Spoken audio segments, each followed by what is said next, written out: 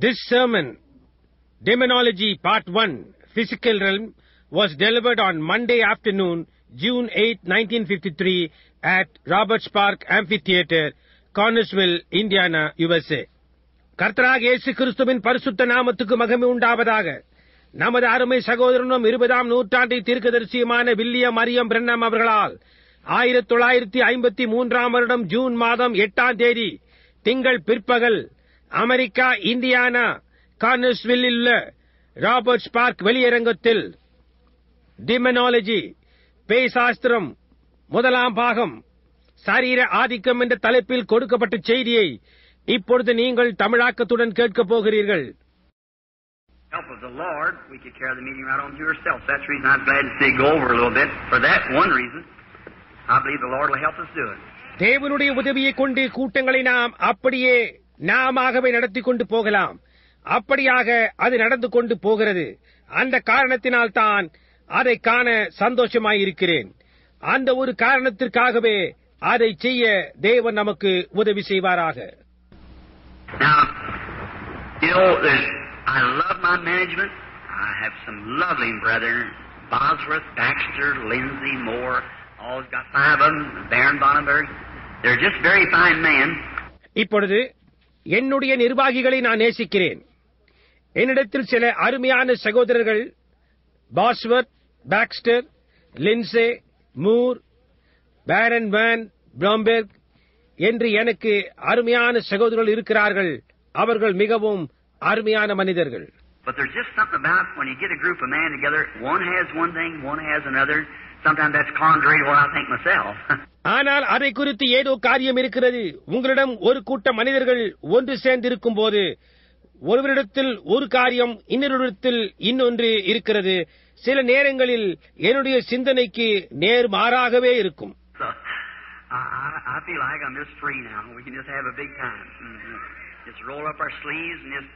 Dive in and eat. எனவே எனக்கு இப்பொழுது சுயாதீனமாய் இருப்பது போன்று உணர்கிறேன். நமக்கு ஒரு மகத்தான நேரம் உண்டாயிருக்கலாம் அப்படியே கைகளை சுருட்டிவிட்டு உள்ளே நுழைந்து சாப்பிடுங்கள். உங்களுடைய கைகளை சுருட்டிக் கொண்டு ஒரு மகத்தான நேரம் உண்டாயிருக்கிறதை குறித்து நான் நினைக்கிறேன் Uh, my first Bible was nature. I learned God through nature.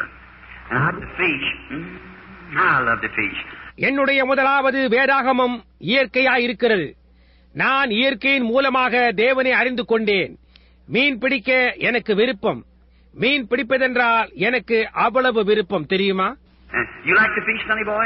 மகனே உனக்கு மீன் பிடிக்க விருப்பமா If you like to fish and love your mother, you're going to make a good boy. உனக்கு மீன் பிடிக்க விருப்பம் இருந்து உன்னுடைய தாயாரை நேசிப்பாயானால் நீ ஒரு நல்ல பையனாக ஆகுவாய் and even my conversion didn't take it all out of me. என்னுடைய மனமாற்றமும் கூட எல்லாவற்றையும் என்னிடத்திலிருந்து எடுத்து போடவில்லை. எனவே நான் மலையின் மேல் மீன் பிடித்துக் கொண்டிருந்தேன் இந்த பையனின் நன்மைக்காகவே இதை நான் கூறுகிறேன். இங்கே உட்கார்ந்து கொண்டிருக்கின்ற மற்ற பிள்ளைகளுக்கும் கூட நான் அங்கே மலையின் மேல் மீன் பிடித்துக் கொண்டிருந்தேன். நான் ஆற்று மீன் பிடித்துக் கொண்டிருந்தேன் And oh, it's wonderful in the springtime. I go along like that and every this trout's just in the next hole, you know, like that, and just praising the Lord and having a big time.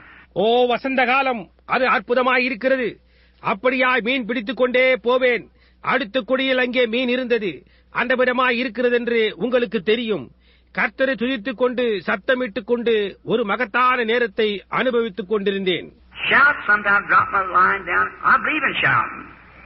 Amen, I sure do.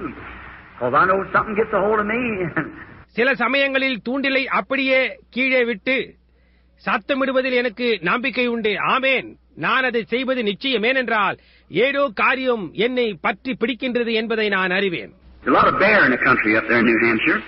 I have a little camp up there where I fish at.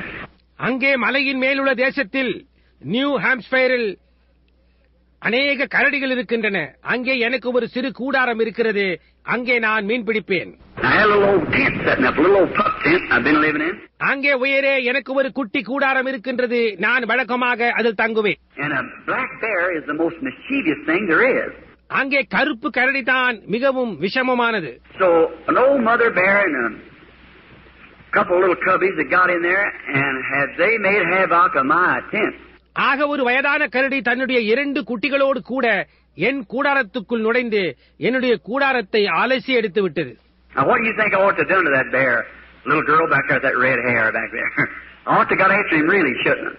அங்கே உட்கார்ந்து கொண்டிருந்த அந்த சிவப்பு மயிருள்ள பெண் கரடி குட்டிக்கு நான் என்ன செய்திருக்க வேண்டும் என்று நீங்கள் கருதுகிறீர்கள் அவளை தொடர்ந்து ஓடி இருக்க வேண்டும் என்று நீங்கள் நினைக்கிறீர்கள் அல்லவா But here's what she done.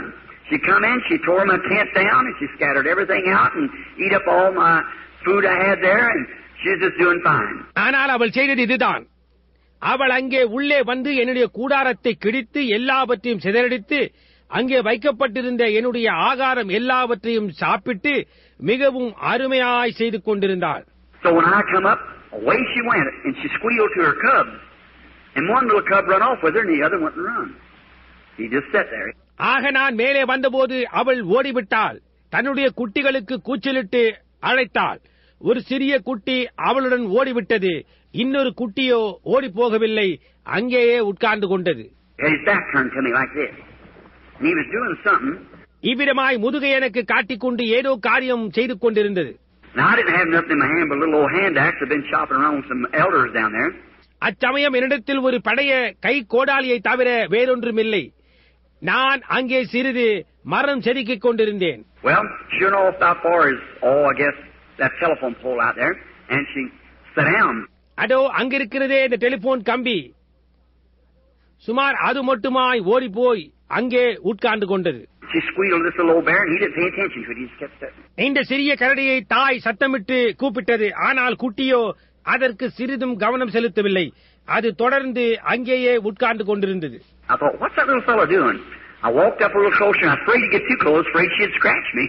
இந்த குட்டி என்னதான் செய்து கொண்டிருக்கிறது என்று நினைத்தேன் நான் சற்று கிட்டே நடந்து போய் பார்த்தேன் இன்னும் கிட்டே போக பயந்தேன் என்னை பீறி போடும் So I, I couldn't see a tree, and I know she could climb too, so I didn't want to get too close to her because I know the nature of bear.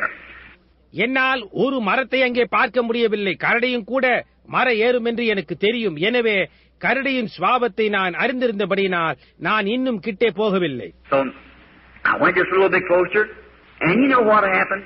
ஆக நான் இன்னும் சற்று கிட்டே சென்றேன் என்ன நடந்தது என்று உங்களுக்கு தெரியுமா? Oh. எனக்கு பணியாரம் என்றால் பிடிக்கும் பையன்களாகிய உங்களில் எத்தனை பேர்களுக்கு அது பிடிக்கும் சிறுவனே Oh, I, oh, boys too. I've seen them put their hands up. We all like pancakes, and I just love them. And um, ஓ எல்லா பையன்களும் கரங்களை உயர்த்துகிறதை நான் காண்கிறேன். நாம் எல்லாருக்கும் பணியாரம் என்றால் பிடிக்கும். எனக்கு அதிகம் பிடிக்கும். அதன் மேல் தேனை ஊற்றி நான் சாப்பிடுவேன்.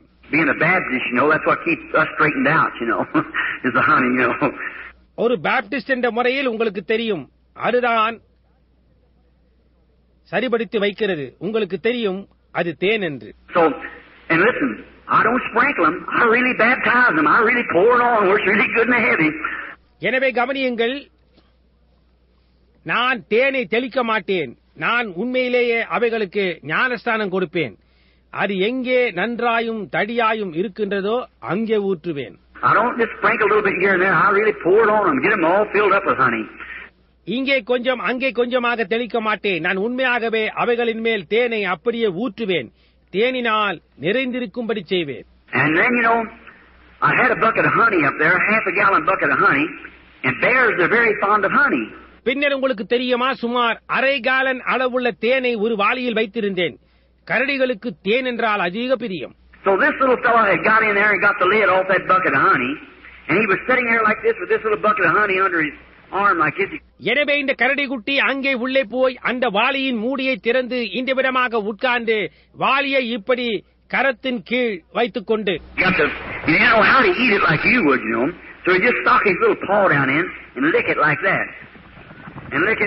நீங்கள் சாப்பிட அறிந்திருப்பது போன்று அதை எப்படி சாப்பிடுவது என்று அந்த கரடி குட்டிக்கு தெரியாது என்றது உங்களுக்கு தெரியும். அதனுடைய சிறு விரல்களை அதில் தோய்த்து இந்த விதமாய் நக்க துவங்கியது And he turned around to look to me, and his little eyes was all matted together. His little belly was just as thick as they could be with honey. என்னை பார்க்கும்படியாய் அப்படியே சற்று திரும்பினது அதனுடைய கண்கள் ஒன்றையொன்று சந்திக்கும் விதமாக ஒன்று சேர்ந்து அதன் சிறு வயிறு தேனினால் நிறைந்திருந்தது. அது அப்படியே அங்கே உட்கார்ந்து கொண்டு கையை உள்ளே அழித்து எடுத்து இந்த விதமாக கரத்தை எவ்வளவு கூடுமோ அவ்வளவு கடினமாக நக்கினது Oh! I thought about a good old time Holy Ghost meeting when we just get the bucket open, stick our hand down the jar, and lick away. Just keep on going, just licking away. ஓ என்ன நான் ஒரு நல்ல பழங்கால பரிசுத்தாவி கூட்டத்தை குறித்து நினைத்தேன் நமக்கு வாளி திறக்கப்பட்ட போது ஜாடிக்குள்ளாக நம்முடைய கரங்களை அடித்து விட்டு எடுத்து நக்குவது அப்படியே தொடர்ந்து உங்களுக்கு தெரியும் நக்கிக் கொண்டே இருப்பது And you know what the th- funny thing was, though? After that little fellow got a, as much as he could, he let the bucket down and run off out there.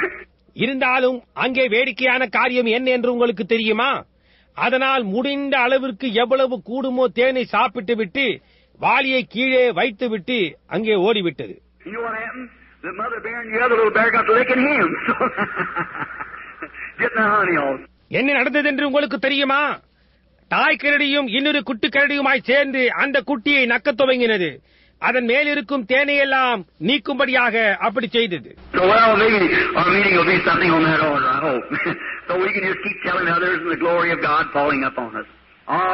ஆக சரி நம்முடைய கூட்டமும் அந்த ஒழுங்கின்படியாகவே இருக்கலாம் என நம்புகிறேன். அதனால் நாம் மற்றவர்களுக்கு தொடர்ந்து சொல்லிக் கொண்டே போக தேவனுடைய மகிமையும் நம்மேல் விழுந்து கொண்டே இருக்கும். சரிதானே? I'm glad to see you little children out. I'd like to tell you something like that, and maybe tomorrow afternoon we have more time and we can talk a little more. And we'll talk to Dad and Mother now about something. பிள்ளைகள் எல்லாம் வெளியே போனால் நான் சந்தோஷமாக பார்ப்பேன் அதே போன்று ஏதோ காரியத்தை நான் உங்களுக்கு கூற விரும்புகிறேன் ஒரு கால் நாளை மத்தியானம் நமக்கு அதிகமான நேரம் இருக்கும் நாம் சற்று அதிகமாக பேச முடியும் இப்பொழுது நாங்கள் அப்பாவோடும் அம்மாவோடும் சில காரியங்களை குறித்து பேசுவோம். இப்பொழுது நாங்கள் பேய் சாஸ்திரத்தை குறித்து பேச போகிறோம் In Psalms 103, 1 to 3, we read these verses. சங்கீதம் நூற்று மூன்று ஒன்றிலிருந்து மூன்று வரை நாம் இந்த வசனங்களை வாசிக்கிறோம் Most every minister and clergyman or Bible reader knows them by heart. ஒவ்வொரு ஊழியக்காரனும் குருமாரும் அல்லது வேதத்தை வாசிப்பவனும் இவைகளை மனப்பாடமாய் அறிந்திருக்கிறார்கள். Bless the Lord, O my soul, and all that is within me, bless his holy name. என் ஆத்துமாவே கர்த்தரை ஸ்தோத்திரி என் முழு உள்ளமே அவருடைய பரிசுத்த நாமத்தை ஸ்தோத்திரி. Bless the Lord, O my soul, and forget not all of his benefits, என் ஆத்துமாவே கர்த்தரை ஸ்தோத்திரி அவர் செய்த சகல உபகாரங்களையும் மறவாதே who forgiveth all of thine iniquity, who healeth all of thy diseases. அவர் உன் அக்கிரமங்களை எல்லாம் மன்னித்து உன் நோய்களை எல்லாம் குணமாக்கினார் I want you to notice there, it was an all. Who forgiveth all of thine iniquities, who healeth all of thy diseases. நீங்கள் அங்கே இருக்கின்ற எல்லாம் என்பதை கவனிக்க வேண்டும் என்று நான் விரும்புகிறேன் அவர் உன் அக்கிரமங்களை எல்லாம் மன்னித்து உன் நோய்களை எல்லாம் குணமாக்குகிறார்? இப்பொழுது நாம் ஜெபத்திற்காக சற்று தன்னை வழங்கலாமா. பரலோக பிதாவே நீர் இங்கே இருப்பதற்காக நாங்கள் இன்று பிற்பகலில் நன்றி செலுத்துகிறோம் We thank Thee for these little children that's sitting around. They're the men of tomorrow and women, if there is a tomorrow. இங்கே உட்கார்ந்து கொண்டிருக்கின்ற இந்த சிறு பிள்ளைகளுக்காக நாங்கள் உமக்கு நன்றி செலுத்துகிறோம். கிறிஸ்து வர தாமதிப்பாரானால் அவர்கள் நாளைய தினத்தின் புருஷர்களும் ஸ்திரீகளுமாயிருக்கிறார்கள். And now, Father, we pray that, that you'll bless us now as we're talking now on your word and about the great enemy we have, Satan. இப்பொழுது பிதாவே நாங்கள் உம்முடைய வார்த்தையும் எங்களுக்கு இருக்கின்ற மகத்தான எதிராளியான சாத்தானை குறித்தும் பேசிக் கொண்டிருக்கையில் நீர் எங்களை ஆசீர்வதியும் We pray, God, that you'll let us uh, put a front out, a mechanized unit here of the power of God that'll withstand him tonight in every inch of his ground. சாத்தானுடைய ஒவ்வொரு அங்குல இடத்தையும் எதிர்த்து நிற்கக்கூடிய ஒரு முன்வரிசை சேனையை இங்கே ஒரு இயங்கு சக்தி படையை தேவனுடைய வல்லமையை தேவனே எங்களுக்கு முன்பாக வைக்கும்படி செய்வீராக Lord, and show him that he don't have no legal rights at all. That Christ defeated him in our stead there at Calvary when he died and he spoiled principalities and robbed Satan of every, every power that he had. அவர் மறித்தபோது எல்லா துரத்தனங்களையும் கொள்ளையிட்டு சாத்தானுக்கு இருந்த வல்லமைகள் அனைத்தையும் பரிகரித்து நமது சார்பில் அவனை கல்வாரியில் கிறிஸ்து தோல்வியுறச் செய்ததினால் அவனுக்கு எந்த சட்ட ரீதியான உரிமையும் கிடையாது என்பதை கர்த்தாவே அவனுக்கு காட்டுவீராக And God give us wisdom and understanding now to know and to explain to the people how that they might know how to be healed and to defeat Satan. In Jesus' name we pray. Amen. எவ்விதமாய் சுகமடைய முடியும் எவ்விதமாய் சாத்தானை தோற்கடிக்க முடியும் என்பதை ஜனங்கள் அறிந்து கொள்ளத்தக்கதான விதத்தில் அவர்களுக்கு விளக்கி காட்டவும் நாங்கள் அறிந்து கொள்ளும்படியாகவும் தேவனே எங்களுக்கு ஞானத்தையும் புரிந்து கொள்ளுதலையும் தாரும் இயேசுவின் நாமத்தில் நாங்கள் கேட்கிறோம் ஆமேன் Now for a few minutes we go to speak on demonology. You hear so much about demons. இப்பொழுது சில நிமிஷங்களுக்கு நாம் பேய் சாஸ்திரத்தை குறித்து பேசப் போகிறோம் பேய்களை குறித்து நீங்கள் அவ்வளவாய் கேள்விப்படுகிறீர்கள் Now tomorrow afternoon we'll probably finish up. I wanted two days of this week anyhow to preach on this, just uh, or two days for afternoon services uh, to talk on this. நாளை பிற்பகல் நாம் ஒரு கால் பேசி முடிக்கலாம் அதை குறித்து பிரசங்கிக்க இந்த வாரத்தின் இரண்டு நாட்கள் அதற்காக எனக்கு தேவையாய் இருக்கிறது இதை குறித்து பேசுவதற்கு இரண்டு நாள் பிற்பகல் கூட்டங்கள் எனக்கு தேவையாயிருக்கிறது Now the first thing, what a demon is. You hear so many people talking about a demon. முதலாவது காரியம் பேய் அல்லது பிசாசு என்றால் என்ன? அநேகர் பிசாசை குறித்து பேசுகிறதை நீங்கள் கேட்டிருக்கலாம். Well now, a demon, devil, all comes from one word, and in the English it's called tormentor. இப்பொழுது ஒரு பேய் அல்லது பிசாசு எல்லாம் ஒரு வார்த்தையிலிருந்து வருகிறது. இந்த பதத்தின் அர்த்தம் என்னவென்றால் வேதனைப்படுத்துகிறவன் என்று அர்த்தமாகும். A fellow that torments. is a devil, a evil one. வேதனைப்படுத்துகிற ஒருவன் ஒரு பிசாசாவான் ஒரு பொல்லாத ஆவியாவான் He say now the Bible today is to most to many people is some old back book that grandpa and grandma read or something like that. There's not much to it. It's for the old folks and so forth. இன்றைக்கு வேதாகமமானது அநேகருக்கு பெரும்பாலான ஜனங்களுக்கு தாத்தாவும் பாட்டியும் வாசித்ததான ஒரு பழங்காலத்து புத்தகம் அல்லது அந்த விதமாக ஏதோ ஒன்று என்றுள்ளது But that's wrong. It's for everybody. ஆனால் அது தவறானது அது எல்லாருக்குமானதாகும் And demons are tormentors that torment us. பிசாசுகள் வேதனைப்படுத்துகிறவர்கள் நம்மை வேதனைப்படுத்துகிறவன் Now there is demons that comes into the soul of man. And that is in the phraseology that would be that would be in the I'd say this though. The demon that comes into the soul is uh, something that torments the soul. மனிதனுடைய ஆத்துமாவுக்குள் வருகின்ற பிசாசுகள் இருக்கின்றன அதை இந்த விதமாக கூறுகிறேன் ஆத்துமாவுக்குள் வருகின்ற பிசாசு என்பது ஆத்துமாவை வேதனைப்படுத்துகின்ற ஏதோ காரியமாயிருக்கிறது Many times you can uh, see a person maybe of insanity. நீங்கள் அநேக நேரங்களில் பைத்தியம் பிடித்தவர்களை பார்த்திருக்கலாம் Now they may be yet a converted person, filled with the Holy Spirit, and yet be totally insane.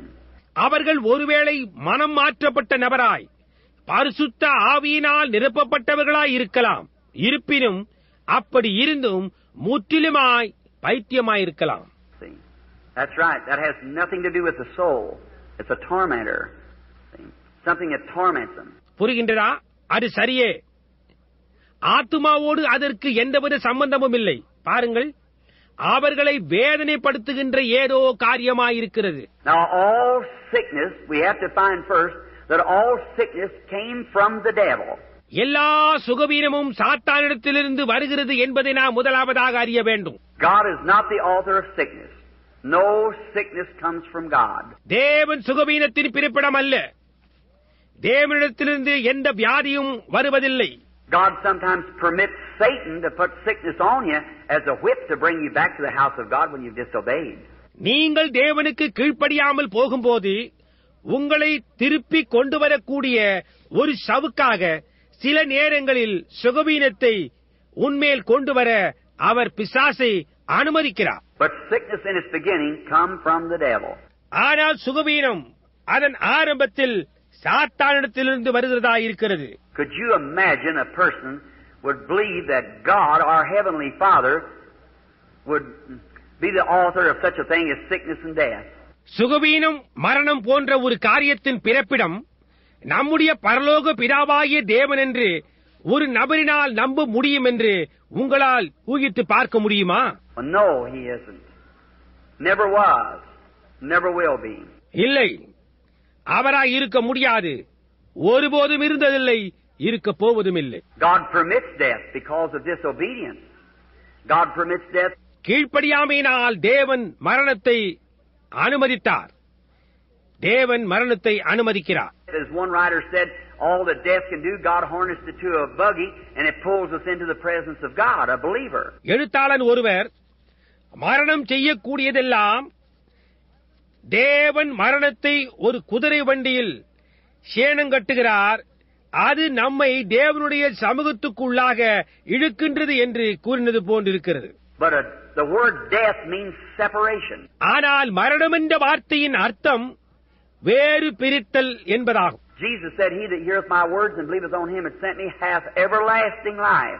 என் வார்த்தையை கேட்டு என்னை அனுப்பினவரை விசுவாசிக்கிறவனுக்கு நித்திய ஜீவன் உண்டு என்று இயேசு கூறினார் And he said, I am the resurrection and life. He that believeth in me, though he were dead, yet shall he live, and whosoever liveth and believeth in me shall never die. நானே உயிர்த்தெழுதலும் ஜீவனுமாயிருக்கிறேன் என்னை விசுவாசிக்கிறவன் மறித்தாலும் பிழைப்பான் உயிரோடு இருந்து என்னை விசுவாசிக்கிறவன் எவனும் என்றென்றைக்கும் மறியாமலும் இருப்பான் என்று கூறியிருக்கிறார் And we pack the bodies of each other over the saintless of our graves. But he shall never die.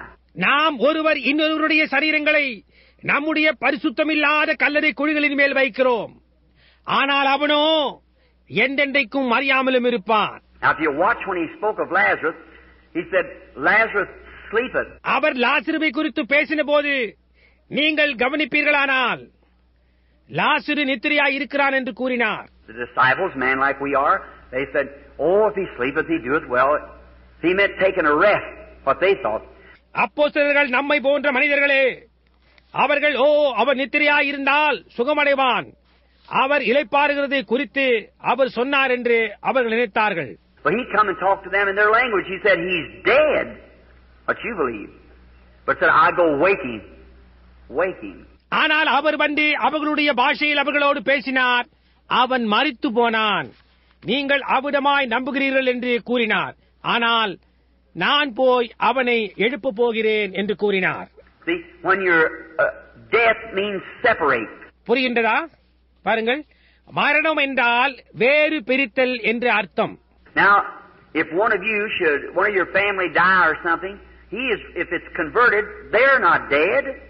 ஒருவேளை உங்களில் ஒருவர் மரித்து போனால் உங்கள் குடும்பத்தில் மரித்து போனால் அல்லது அப்படியா ஏதோ காரியம். அவன் மனம் மாறி இருந்தால் அவர்கள் மறிக்கவில்லை. They're dead in the humanistic standpoint, but they're just separated from us, but they're in the presence of God. மனுஷீக கருத்தின்படியாய் அவர்கள் மரித்து போய்விட்டார்கள். ஆனால் அவர்கள் நம்மிடத்திலிருந்து வேறு பிரிக்கப்பட்டார்கள் ஆனால் அவர்கள் தேவனுடைய சமூகத்தில் இருக்கிறார்கள். They're not dead and they can't die. It's impossible for them to die. அவர்கள் மறிக்கவில்லை அவர்களால் மறிக்கவும் முடியாது மறிப்பது என்பது அவர்களால் கூடாத காரியமாயிருக்கிறது Jesus said, He that heareth my words and believeth on him that sent me has everlasting life, and shall not come into judgment, but has passed from death to life. என் வசனத்தை கேட்டு என்னை அனுப்பினவரை விசுவாசிக்கிறவனுக்கு நித்திய ஜீவன் உண்டு அவன் ஆக்கின தீர்ப்புக்கு உட்படாமல் மரணத்தை விட்டு நீங்கி ஜீவனுக்கு உட்பட்டிருக்கிறான் என்று இயேசு கூறினார் So he can't die. Anything that's immortal, eternal, it can't perish. It's imperishable life. எனவே அவனால் மறிக்க முடியாது அழிவில்லாததும் நித்தியமானதுமான எந்த ஒரு காரியமும் அழிந்து போக முடியாது அது அழிவில்லாத to him. தேவன் அதை அவனுக்கு கொடுத்தபடியினால் அவன் அதை உடையவனாயிருக்கிறான் And மெச்சிதலினால் கொடுக்கப்பட்டதல்ல நிபந்தனை இல்லாதது தேவன் அதை அவனுக்கு கொடுத்தார் God called. No man could come to God except God called him. தேவன் அழைத்தார் தேவன் ஒருவனை அழைக்காமல் ஒரு மனிதனாலும் தேவனிடத்தில் வர முடியாது Jesus said, No man can come to me except my Father calls him. draws him. Is that right?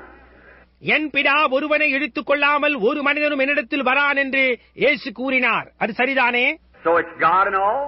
எனவே அது எல்லாவற்றுக்குள்ளும் அது தேவனாய் இருக்கிறது Maybe tomorrow afternoon we'll get a little bit more on that because we want to get this thing of disease to you so that you'll see that ஒரு கால் நாளை பிற்பகல் அதை குறித்து நாம் சற்று அதிகமாய் பார்ப்போம் ஏனென்றால் இந்த வியாதியை குறித்ததானதை முதலாவது கூற விரும்புகிறேன் அதனால் நீங்கள் அடுத்து கூற போவதை புரிந்து கொள்ள முடியும் there was a time when our, we become germatized and our great grandfather, you know that, doctor knows that.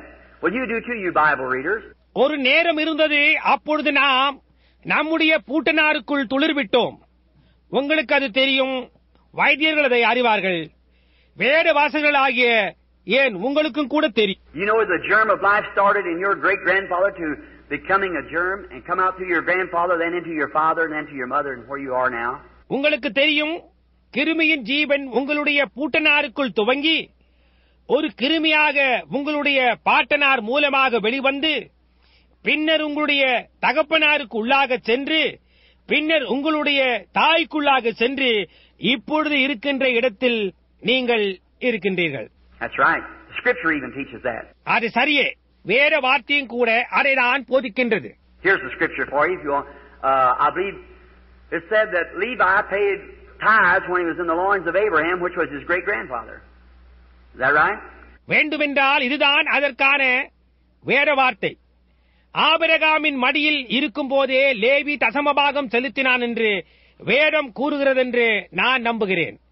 Abraham லேவியினுடைய பூட்டனாராவார். அது சரியா. எனவே பாருங்கள் கிருமியின் ஜீவன் அங்கேதான் துவங்குகிறது. But your souls were made up before the foundation of the world when God created man in his own image. Spirit of man.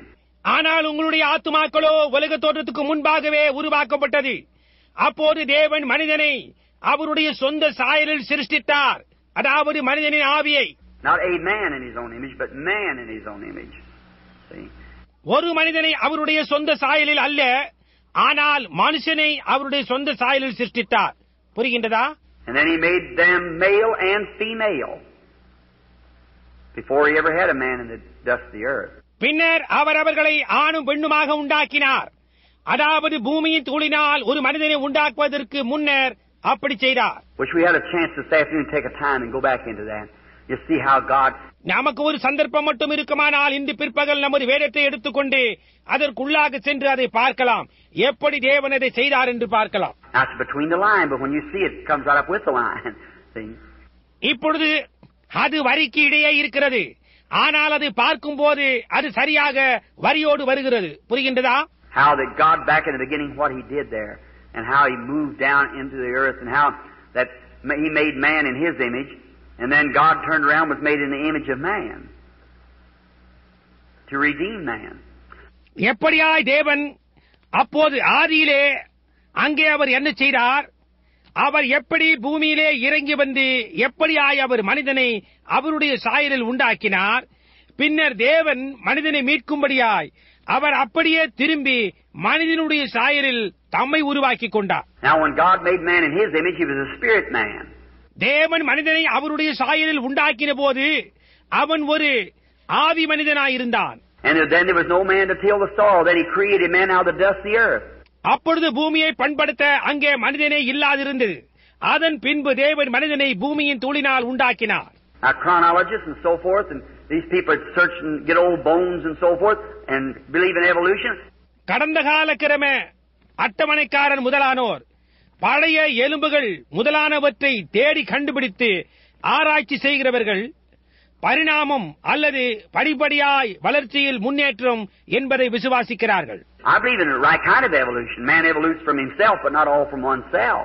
சரியான விதத்தில் இந்த முன்னேற்றத்தை காண்பதை நான் நம்புகிறேன் மனிதன் தன்னிலிருந்து வளர்ச்சி முன்னேற்றத்தை அடைகிறான் என்பதை அல்லாமல் எல்லாரும் ஒரு செல்லில் இருந்து அணுவிலிருந்து வருகிறோம் என்றல்ல No, sir, because a, a bird has been a bird ever since God made him a bird.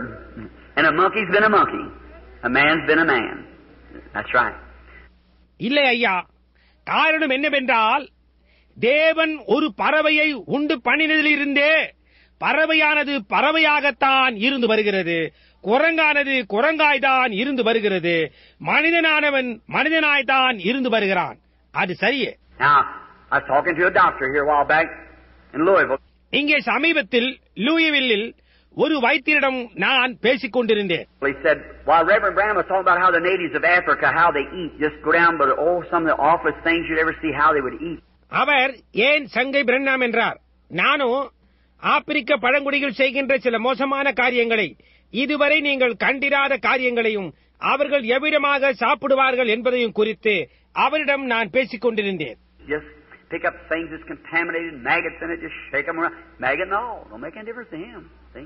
ஆம் கெட்டு போனதும் பூச்சி பிடித்ததுமான காரியங்களை அப்படியே எடுத்து அந்த பூச்சிகளை உதறி தள்ளிவிட்டு அப்படியே அதை சாப்பிடுவார்கள் அது அவர்களுக்கு எவ்வித வித்தியாசத்தையும் உண்டு பண்ணுவதில்லை புரிகின்றதா They said, drink anything, don't make any difference what it is.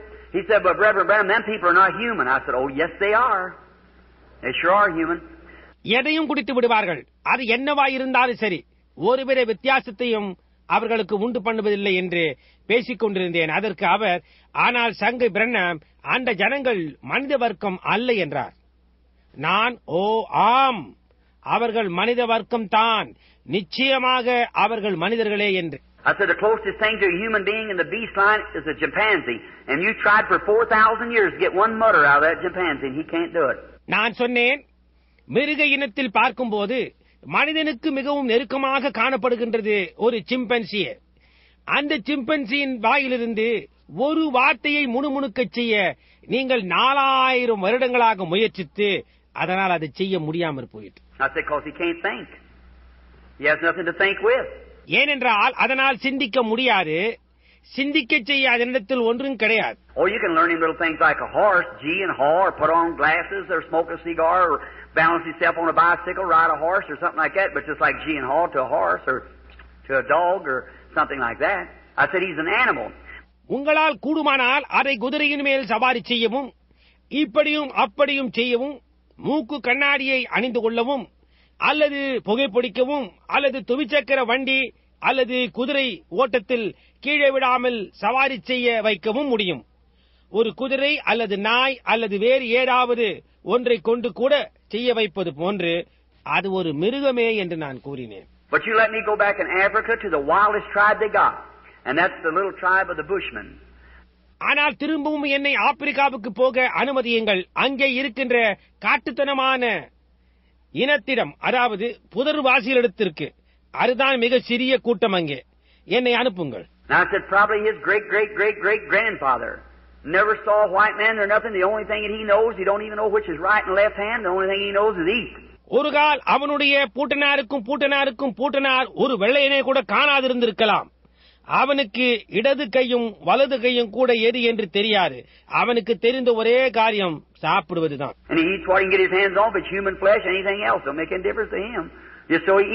அவனுடைய கரத்தை எதன் மேல் வைக்க முடியுமோ அதை அது மனித மாம்சமா இருந்தாலும் வேறு எதுவாக இருந்தாலும் சரி அது அவனுக்கு எந்தவித வித்தியாசத்தையும் உண்டு பண்ணாது. அதை அப்படியே எடுத்து சாப்பிடும். But let me get him at five years old, and at 15 years old, he'll speak good English and have good education. ஆனால் அவன் ஒரு ஐந்து வயது உள்ளவனாய் இருக்கிற நேரத்தில் எனக்கு ஒருவன் கிடைக்கட்டும் அவனுக்கு பதினைந்து வயது ஆகும்போது அவன் நல்ல ஆங்கிலம் பேசுவான் நல்ல கல்வி அறிவு உள்ளவனாகவும் இருப்பான். காரணம் என்ன அவனிடத்தில் ஒரு ஆத்துமா இருக்கிறது God made him a human being. And he's got just as much right to hear the gospel at least once as we have to preaching around here all over America to the people over and over and over begging, persuading and everything. தேவன் அவனை ஒரு மனிதனாய் உண்டாக்கினார் சுவிசேஷத்தை ஒரு முறையாவது கேட்பதற்கு இங்கே நமக்கு அமெரிக்காவில் இருப்பது போன்று மறுபடியும் மறுபடியுமாக ஜனங்களிடத்தில் பிரசங்கிக்கவோ வேண்டிக் கொள்ளவோ அவர்களை சம்மதிக்கவோ செய்கிறது போன்று செய்வதற்கு அவனுக்கும் அவ்வளவு அதிகாரம் இருக்கிறது Let him hear it one time and watch him scream and run to the altar real quick. See? Yes, sir. ஒரு முறை அவன் அதை கேட்கட்டும் அவன் உரத்த குரலில் சத்தமிட்டு சீக்கிரமாக பீடத்தண்டை ஓடுவான் புரிகின்றதா ஆமையா That's what my heart is, brother, today when I think of Africa and them poor little black hands raising up saying, Brother Branham, one more time about Jesus. ஆப்பிரிக்காவையும் அந்த கருத்த கரங்கள் உயரே உயர்த்தப்பட்டு சகோதரன் பிரண்ணாம் இயேசுவை குறித்து இன்னொரு முறை என்று கூறுகிறதை நினைக்கும் போது என்னுடைய இருதயம் இப்படிதான் நினைக்கிறது Oh. ஓ இரக்கம் ஏதோ எனக்குள்ளே தோண்டிக் கொண்டும் எரிந்து கொண்டும் இருக்கின்றது Just as quick as I get money enough up, I get over there too. That's what I do with every penny I get. எனக்கு போதுமான பணம் கிடைத்தவுடன் வெகு சீக்கிரத்தில் அங்கே நான் போக வேண்டும் என்பதே என்னுடைய ஆசை எனக்கு கிடைக்கின்ற ஒவ்வொரு சல்லி காசும் அதற்காகவே வைக்கிறேன் Everything God knows besides just what I can eat, and most people give me my clothes. தேவனுக்கு தெரியும் என்னால் அவசியம் சாப்பிட செலவழித்து அதற்கு மிஞ்சி எல்லாமுமாவே அதற்காகவே வைக்கிறேன் பெரும்பாலான ஜனங்கள் என்னுடைய உடைகளை கொடுக்கிறார்கள் And just what I can barely live by myself, just as close as I can, I throw it right into missionary funds, which the government has arranged. I don't even pay income tax on it. எவ்வளவு குறைச்சலா என்னால் ஜீவிக்க செலவழிக்க கூடுமோ அதை மட்டும் செலவழித்து மீதியுள்ளதை வெளிநாடு ஊழியங்களுக்காக சேமிப்பு பணத்துக்கு கொடுத்து விடுவேன் அரசாங்கம் அதை ஒழுங்கு செய்கிறது அதன் பேரில் நான் வருமான வரி கூட செலுத்துவதில்லை To get up three or four, five thousand dollars, and I take across over there and preach the gospel to the people that I know that that day I'll have to answer, and I'll know what I answer for. நான்கு அல்லது ஐந்து ஆயிரம் டாலர்கள் சேரும் வரை காத்திருந்து அதன் பின்னர் அதை கொண்டு நான் கடல் கடந்து போய் என்னென்ன ஜனங்களுக்காக நான் பதில் கூறியாக வேண்டுமோ அந்த ஜனங்களுக்கு நான் போய் சுவிசேஷத்தை பிரசங்கிப்பேன் என்ன நான் பதில் கூற வேண்டும் என்றும் நான் அறிவேன் I used to, when I go in a city, I'd hold a big meeting back when they had lots of money and they have great campaigns and thousands of dollars. I'd give it over to Red Cross and so forth. நான் ஒரு பெரிய பட்டணத்திற்குள் போகும்போது அவர்களிடத்தில் அதிகமான பணம் இருக்கும்போது வழக்கமாக பெரிய கூட்டம் நடத்துவேன் அவர்கள் பெரிய பெரிய கூட்டங்கள் நடத்தி ஆயிரக்கணக்கான டாலர்கள் வைத்திருப்பார்கள் நான் அதை அங்கிருக்கும் செஞ்சிலுவை சங்கம் முதலானவைகளுக்கு கொடுத்து விடுவேன் Uh, now, I know no slam to them, but coming down the street in a four thousand dollar car with a big diamond studs on, smoking a cigar, and five hundred dollars a week on the money that sick people. No, sir. No, indeedy. இப்பொழுது அவர்களை குறை கூட வேண்டும் என்பதற்காக அல்ல ஆனால் அவர்கள் நாலாயிரம் டாலர்கள் மதிப்புள்ள கார்களில் பெரிய வைர பொத்தான்களை அணிந்து கொண்டு புகைத்துக் கொண்டு வாரத்துக்கு ஐந்தாயிரம் டாலர்கள் என்று சுகவீன ஜனங்கள் கொடுக்கும் பணத்தை செலவழிக்கின்றனர் இல்லை ஐயா இல்லவே இல்லை நிச்சயமாக on these, as soon as you get out of the city, they set of holy rollers and everything like that, and making fun and down in the religion that we're standing up for. No, sir. ஆனால் உங்களில் சிலர் இந்த பட்டணத்தை விட்டு வெளியே சென்ற மாத்திரத்தில் பரிசுத்த உருளைகள் இன்னும் இப்படியாய் பலவற்றை கூறி உங்களை கேலி செய்து நாம் எந்த விதமான மார்க்கத்துக்காக நிற்கிறோமோ அதை குறை கூறுகிறார்கள் இல்லை ஐயா I take it myself, and before God is my judge, I put it in the gospel work counter so I know it on that day that I, when I have to give an account for my stewardship, it's given correctly. That's exactly right, because I realize as I treat the people, I'm treating God. நானே அதை எடுத்துக்கொண்டு என்னுடைய நியாயாதிபதியான தேவனுக்கு முன்பாக கூறுகிறேன் அவருடைய முன்னிலையில் நான் அதை தூரதேச சுவிசேஷ ஊழியத்திற்கு கொடுத்து விடுவேன் இவ்விடம் செய்வதனால் என்னுடைய உக்ரானத்துவத்துக்காக நான் கணக்கு ஒப்புவிக்கப்படும் போது அது சரியாய் கொடுக்கப்பட்டது என்று அந்த நாளில் நான் அறிந்து கொள்வேன் அது அப்படியே சரியானதே ஏனென்றால் நான் ஜனங்களை நடத்தும் விதத்திலே நான் தேவனையும் நடத்துகிறேன் என்பதை நான் உணர்கிறேன் Christ. உங்களிடமாயுள்ள என்னுடைய மனப்பான்மையே தேவனிடமாயுள்ள என்னுடைய மனப்பான்மையாயிருக்கிறது Your attitude towards me is the same thing. That's right, towards Christ. என்னிடமாயுள்ள உங்களுடைய மனப்பான்மையே தேவனிடமாய் உள்ள உங்களுடைய மனப்பான்மையாயிருக்கிறது அது சரியே Now, to see a people like that and see how that a human being then, with an immortal soul now, that can't die, can't perish, can't do nothing but have everlasting life, that God sovereignly in His own will gave it to you. அந்த விதமான ஒரு ஜனத்தை காண வேண்டும் என்றால் தேவன் தம்முடைய சுயசித்தத்தினால் உனக்கு கொடுத்ததான நித்திய ஜீவன் அதனால் மறிக்க முடியாது அதனால் அழிந்து போக முடியாது நித்திய ஜீவ காலமாய் இருப்பதை தவிர வேறொன்றையும் அதனால் செய்ய முடியாது அப்படிப்பட்டதான ஒன்றை உடையதாய் இருக்கின்ற அழிவில்லாத ஆத்துமாய் உடையதான ஒரு மனித வர்க்கம்.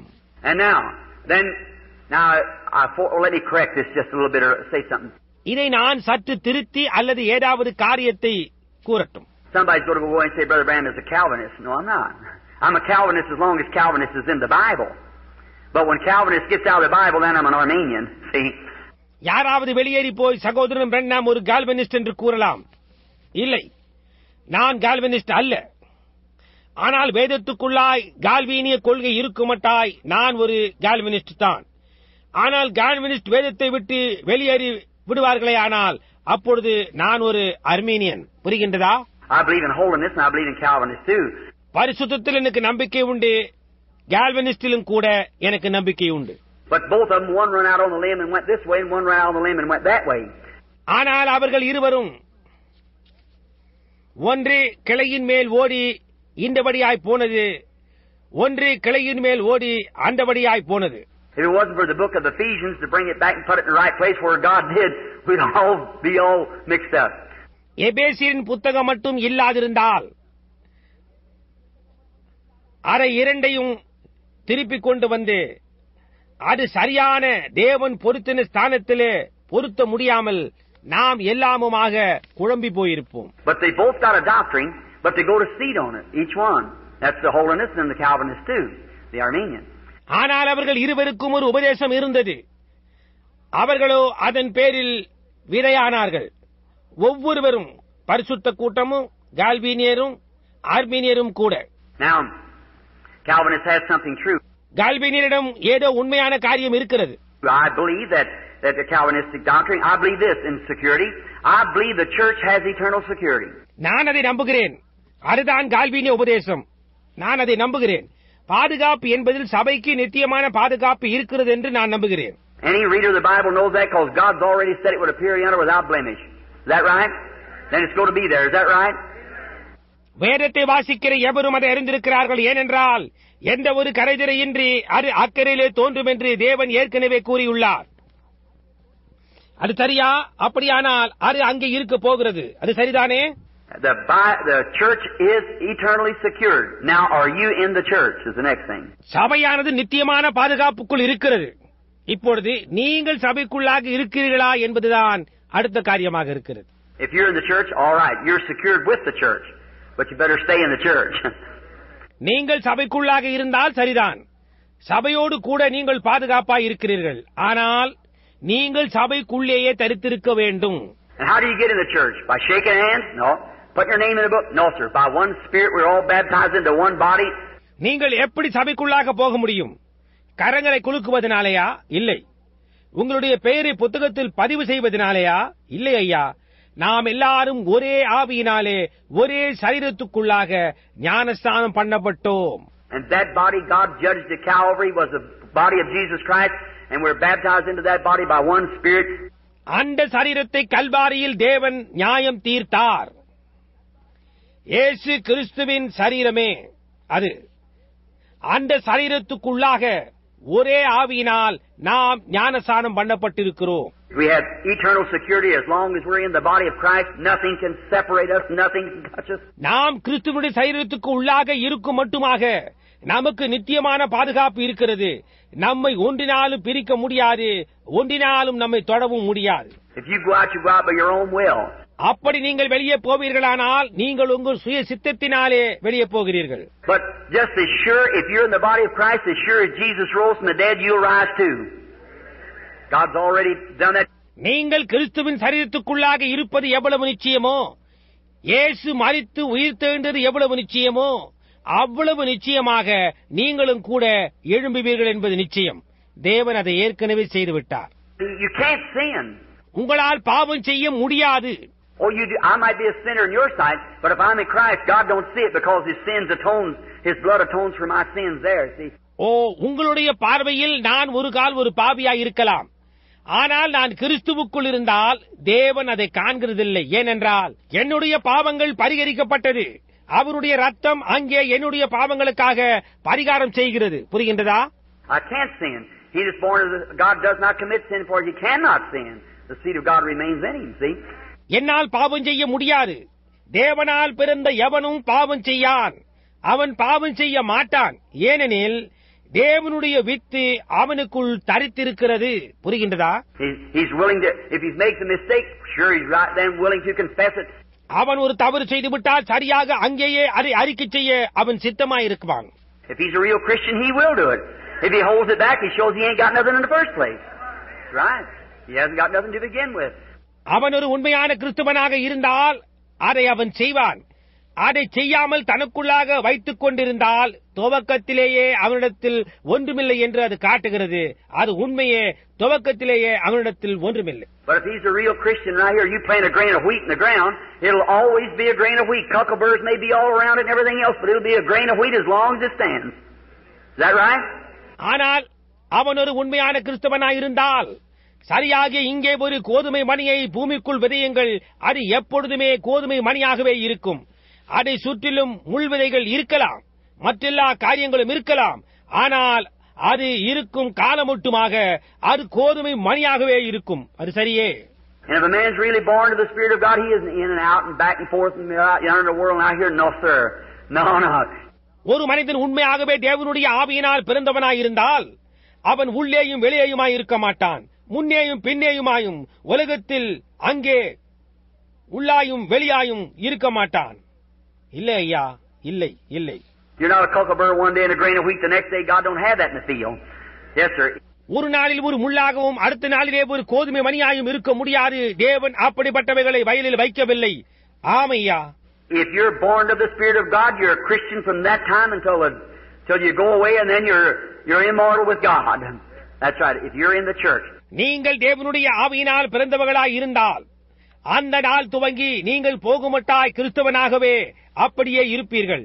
அதற்கு பின்னர் நீங்கள் அடியாதவர்களாய் தேவனோடு இருப்பீர்கள். நீங்கள் சபைக்குள் இருந்தால் அது சரியே now now let's talk about the death side. இப்போது நாம் மரணத்தின் பாகத்தை குறித்து பேசுவோம். Now, how could a person on that estate and that kind of a condition ever be sick? அந்த விதமான சூழ்நிலையில் அந்த விதமான நிலைமைக்குள்ளாக இருக்கின்ற ஒரு மனிதன் எப்படி சுகவீனமாய் இருக்க முடியும்? Because that your body is not yet redeemed.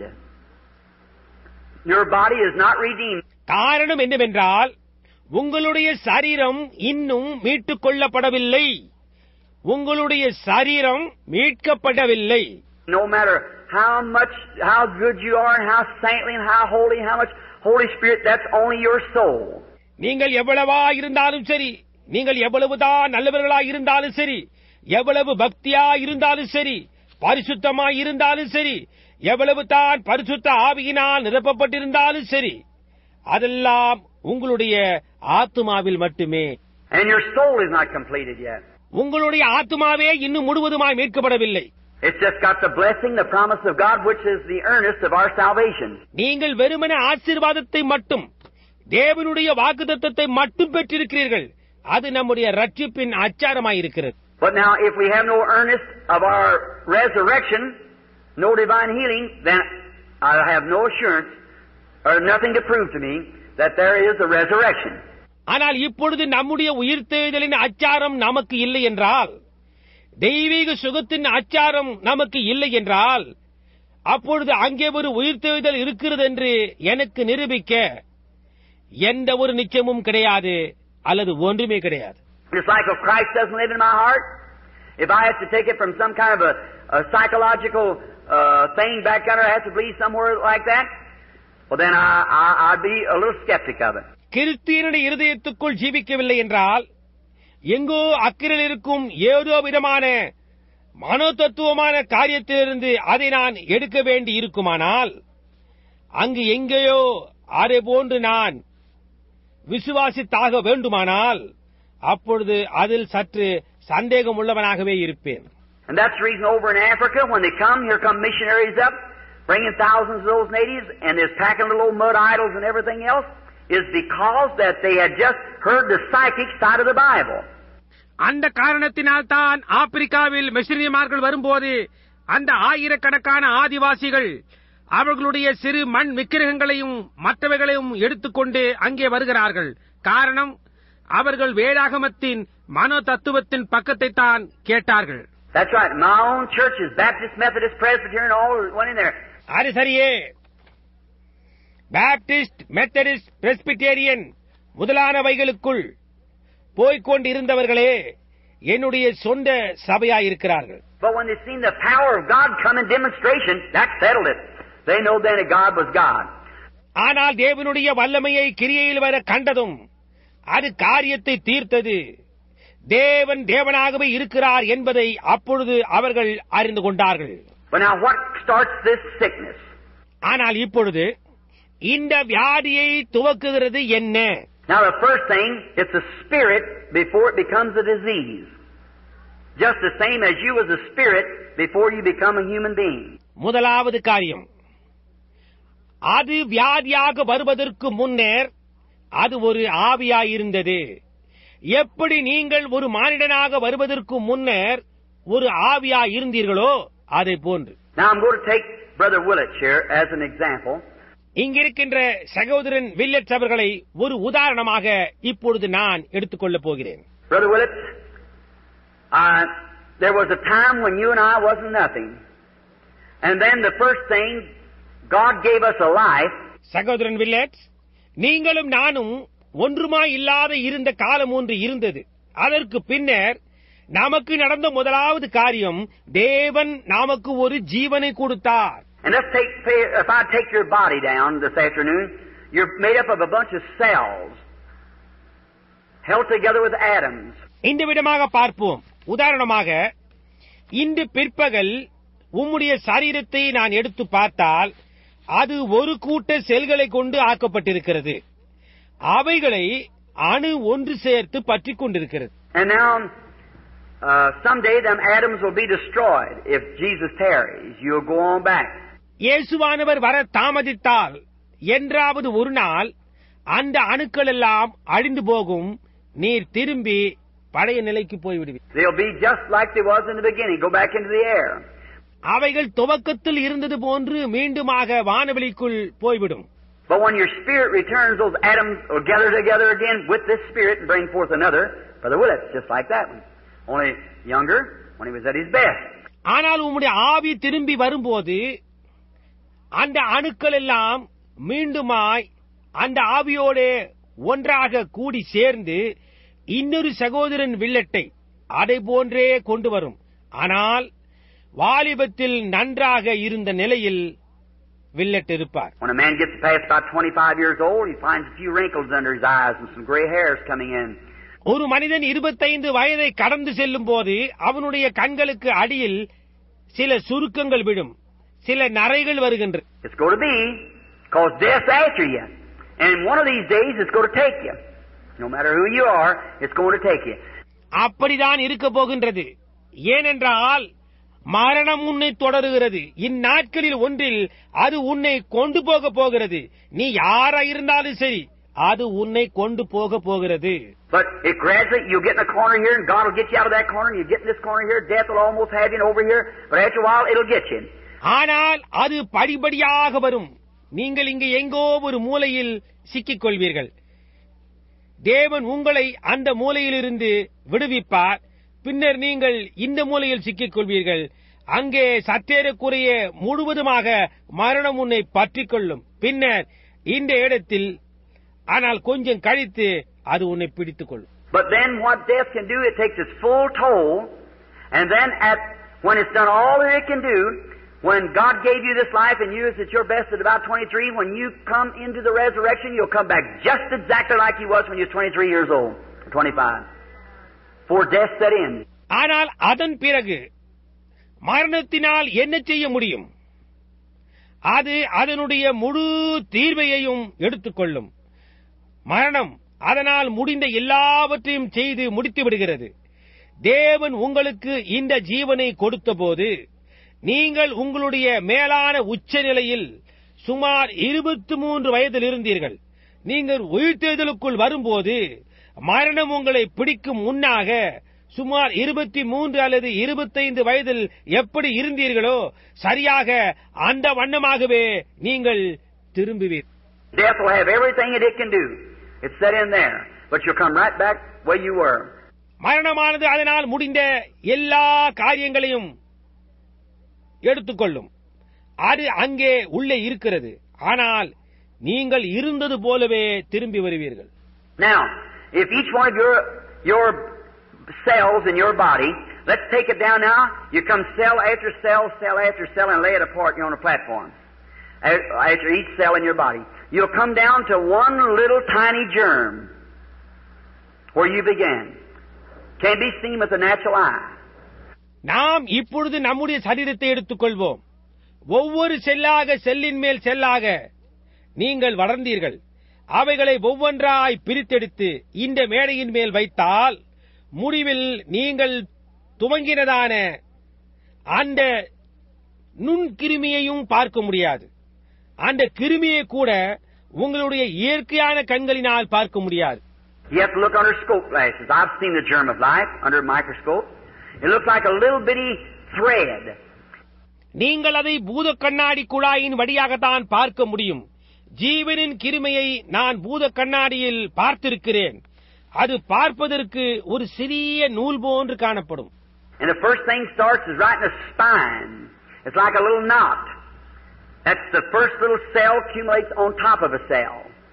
முதலாவது துவக்கம் முதுகெலும்பில் இருந்துதான் அது ஒரு முடிச்சு போல் இருக்கும் முதல் சிறு செல்லின் மேல் கூடி சேர்ந்த இன்னொரு செல் தான் அது Now, if I had to take that one single little cell that every one of you come from, one little teeny cell, germ, நீங்கள் ஒவ்வொருவரும் உருவாகி வந்த அந்த ஒரு சிறிய மிக நுண்ணிய செல்லை கிருமியை நான் எடுத்துக்கொள்ள வேண்டியிருந்தால் what is a germ?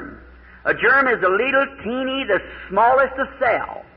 ஒரு கிருமி என்றால் என்ன ஒரு கிருமி என்றால் மிகவும் சிறிய நுண்ணிய இருப்பவைகளிலே மிக நுண்ணிய செல்லா Well, what's after that?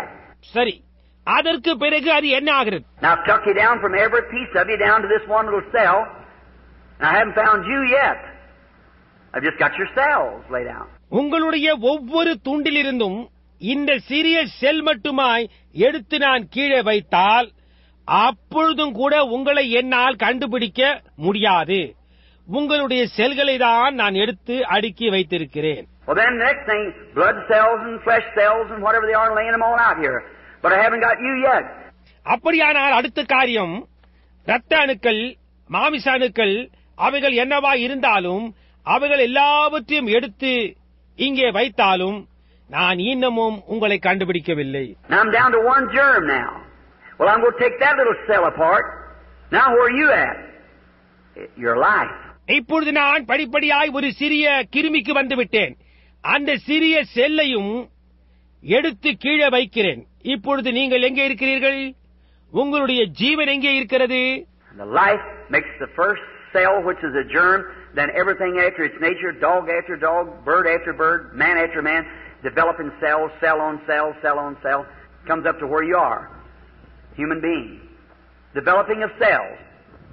ஜீவன் தான் முதலாவது செல்லா இருக்கிறது அது ஒரு கிருமியா இருக்கிறது அப்படியானால் எல்லா காரியங்களும் அதனதன் சுவாபத்தை பற்றியதா இருக்கிறது நாய்க்கு பின் நாயாகவும் பறவைக்கு பின் பறவையாகவும் மனிதனுக்கு பின் மனிதனாகவும் இருக்கிறது. வளருகின்ற செல்கள் செல்லுக்கு மேல் செல் செல்லுக்கு மேல் செல் வளர்ந்து வந்து நீங்கள் இருக்கும் அளவிற்கு வந்துவிட்டது. மானிட வர்க்கமே செல்களின் வளர்ச்சியாயிருக்கிறது. Now that was ordained of God to be so. அது அந்த விடமாய் இருக்க வேண்டும் என்று தேவனால் little bit.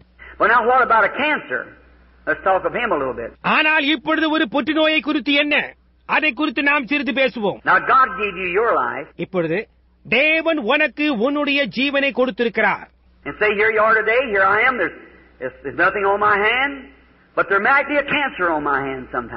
நீங்கள் இங்கே இருக்கிறீர்கள் நான் இங்கே இருக்கிறேன் என்று வைத்துக் கொள்ளுங்கள் என்னுடைய கரத்தின் மேல் ஒன்றுமில்லை ஆனால் எப்போதாவது ஒரு புற்றுநோய் என் கரத்தின் மேல் இருக்கலாம் Well, how did that cancer get there? Let's see what the cancer is. Now let's take him apart. Let's go take him.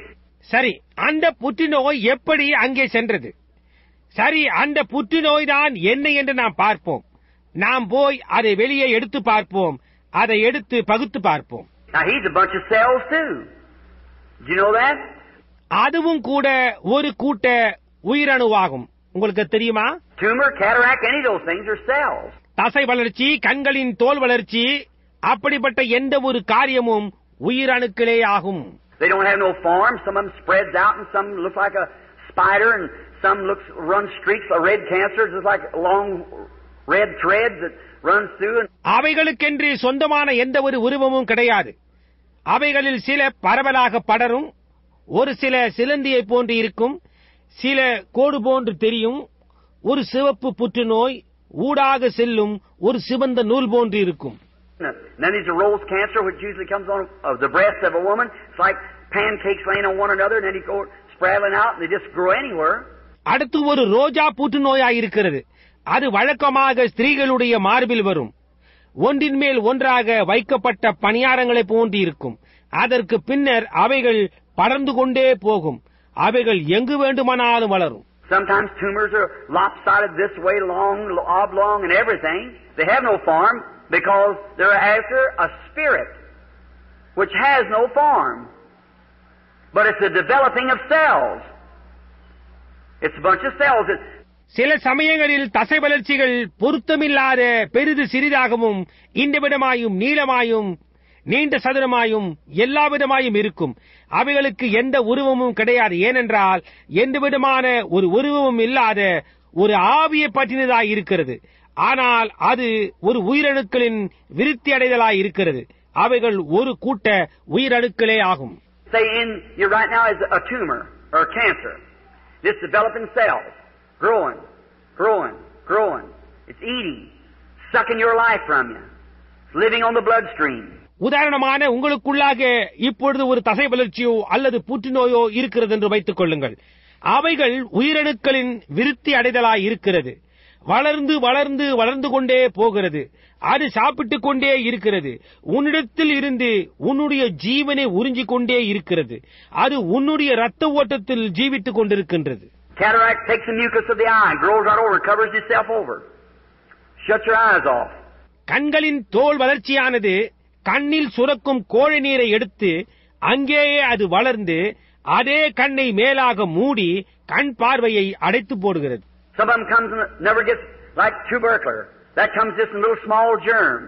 அவைகளில் சில உள்ளே வந்து வெளியே போவதே இல்லை காச நோய் கிருமிகளைப் போன்று ஒரு சிறு கிருமியாய் உள்ளே வருகிறது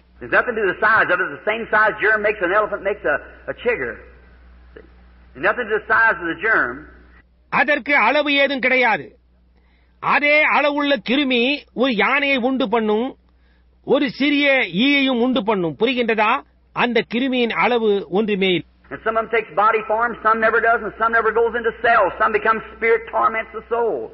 அவைகளில் சில சரீர உருவமெடுக்கின்றன சில அப்படியா எடுப்பதே கிடையாது சில கிருமிகள் உயிரணுக்களாகவே ஆகாது சில கிருமிகள் ஆவிகளாகி ஆத்துமாவை சித்திரவதை செய்யும்.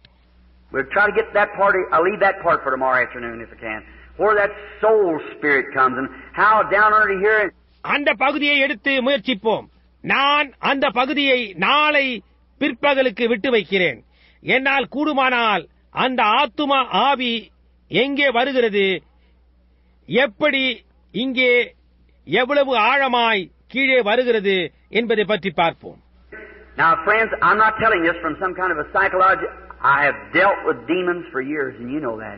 இப்பொழுது நண்பர்களே ஏதோ மனோ தத்துவத்திலிருந்து நான் இதை உங்களுக்கு எடுத்து கூறவில்லை நான் வருஷங்களாக பிசாசுகளோடு இடைப்படுகிறேன் நீங்கள் அதை அறிந்திருக்கிறீர்கள் If you only knew the thing after the services is over at night, what goes on sometimes. You don't know. Remember, when you come against the Spirit, you better know what you're speaking about. கூட்டம் முடிந்த பிறகு இரவில் என்ன சம்பவிக்கிறது?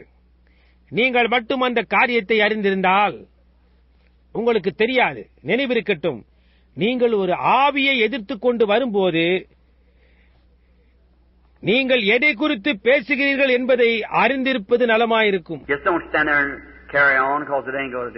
வெறுமனே அங்கு நின்று கொண்டு காரியத்தை செய்து கொண்டிருக்க வேண்டாம். ஏனென்றால் அது எந்த நன்மையும் செய்ய போகிறதில்லை But when actually a demon has to obey you, you'll recognize it. ஆனால் உண்மையாகவே ஒரு பிசாசு உங்களுக்கு கீழ்ப்படிய வேண்டுமானால் அவன் அதனை அடையாளம் கண்டுகொள்வான் It ain't how loud you holler. It ain't how much oil you put on. It's what's back here that he'll recognize. It's the truth. நீங்கள் எவ்வளவு சத்தமாய் கூறுகிறீர்கள் என்பது ஒரு பொருட்டல்ல நீங்கள் எவ்வளவு எண்ணெய் ஊற்றுகிறீர்கள் என்பதும் ஒரு பொருட்டல்ல அவன் அடையாளம் கண்டு கொள்வதெல்லாம் பின்னால் இருக்கின்ற காரியத்தை தான் சத்தியத்தை தான். இயேசுவானவர் வெறுமனே அவனிடத்தில் வெளியே வா என்று கூறினார்? நினைவிருக்கட்டும் அந்த சீஷர்கள் உதைத்துக் கொண்டும் நெளிந்து கொண்டும் எல்லா காரியங்களை செய்து கொண்டும் அவனை வெளியே அனுப்ப பிரயாசித்துக் கொண்டிருந்தார்கள். ஏன் எங்களால் அவனை துரத்தக்கூடாமல் போயிற்று என்று அவர்கள் கூறினர் அதற்கு காரணம் உங்களுடைய அபிசுவாசமே என்றார் I said, Come out of him. The boy fell and had the hardest fit he ever had. See? They recognize authority. அவனை விட்டு வெளியே வா என்று அவர் கூறினார் அந்த பையன் அப்படியே கீழே விழுந்து அது வரையிலும் வராத அளவுக்கு இழுப்பு உண்டானது புரிகின்றதா புரிகின்றதா அவைகள் அதிகாரத்தை அடையாளம் கண்டுகொள்ளுகின்றன Look at those boys down there, those vagabonds who seen Paul casting out devils. They said, We can do the same thing. Some priest's sons. அங்கே இருந்த அந்த பையன்களை பாருங்கள் பொறுப்பற்று அலைந்து திரிகின்ற அவர்கள் பவுல் பிசாசுகளை துரத்துகிறதை கண்டனர் ஏதோ ஆசானுடைய குமாரர்கள் நம்மாலும் கூட அதே காரியத்தை செய்ய முடியும் என்று கூறினர் So they go around and said, We can cast out devils. Acts 19. எனவே அவர்கள் அங்கு போய் எங்களால் பிசாசுகளை துரத்த முடியும் என்று கூறினார்கள் அப்போஸ்தலர் பத்தொன்பது They went out to a man who had epileptic fits and said, We adjure you by Jesus, come out of him. The devil said, Now, in the name of Jesus, who Paul preaches. அவர்கள் அப்படியே போய் காக்காய் வலியுள்ள ஒரு மனிதனிடத்தில் பவுல் பிரசங்கிக்கிற இயேசுவின் பேரில் ஆணையிட்டு உங்களுக்கு கட்டளையிடுகிறோம் என்று கூறினார்கள் The devil said, Now, I know Jesus and I know Paul, but who are you? பிசாசு அவர்களை நோக்கி இயேசுவை அறிவேன் பவுலையும் அறிவேன் நீங்கள் யார் என்று கூறினது You know what happened? Jumped on the man, tore their clothes, and they had to fix themselves and run out into the street. என்ன சம்பவித்தது என்று உங்களுக்கு தெரியும் அவர்கள் மேல் பிசாசு பாய்ந்து அவர்கள் வஸ்திரங்களை கிழித்து அந்த காக்காய் வலிப்பு அவர்களில் வர அவர்கள் வீதியிலே ஓடிப்போனார்கள் Them same demons live today. So there is a lot of fanaticism. This is the church this evening. அதே பிசாசுகள் தான் இன்றைக்கும் ஜீவித்துக் கொண்டிருக்கின்றன ஆகையினால் தான் அதிகப்படியான மத வைராக்கியம் இருக்கிறது இந்த சாயங்கால நேரத்தில் இதுதான் சபை There's a lot of fanaticism in the lands today called divine healing that ought to be shut up. தேசத்தில் இன்றைக்கு அதிகப்படியான தெய்வீக சுகமளித்தல் என்று அழைக்கப்படுகின்ற மத வைராக்கியம் இருக்கிறது அதை நிறுத்தப்பட வேண்டும். உண்மையான காரணத்தின் மேல் நிந்தையை அதுதான் கொண்டு வருகிறது.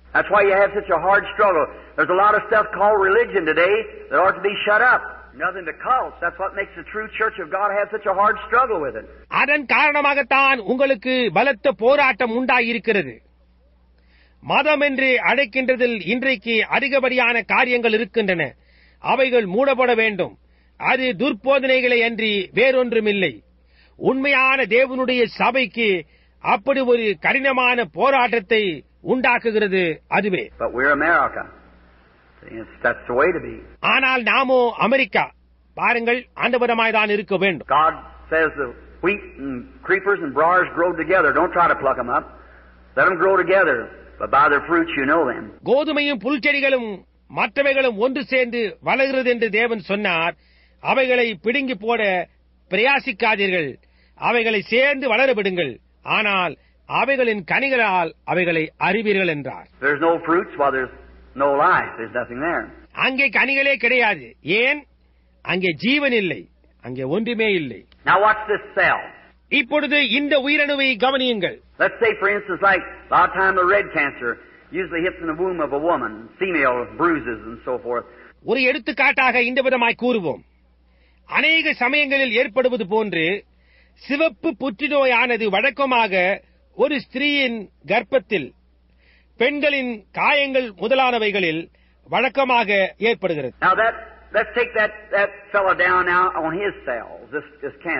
இப்பொழுது நாம் அதை எடுத்துக்கொள்வோம் இப்பொழுது புற்றுநோய் அதனுடைய உயிரணுவில் மேல் இருக்கிறது Now cancer, everything in the natural types the spiritual.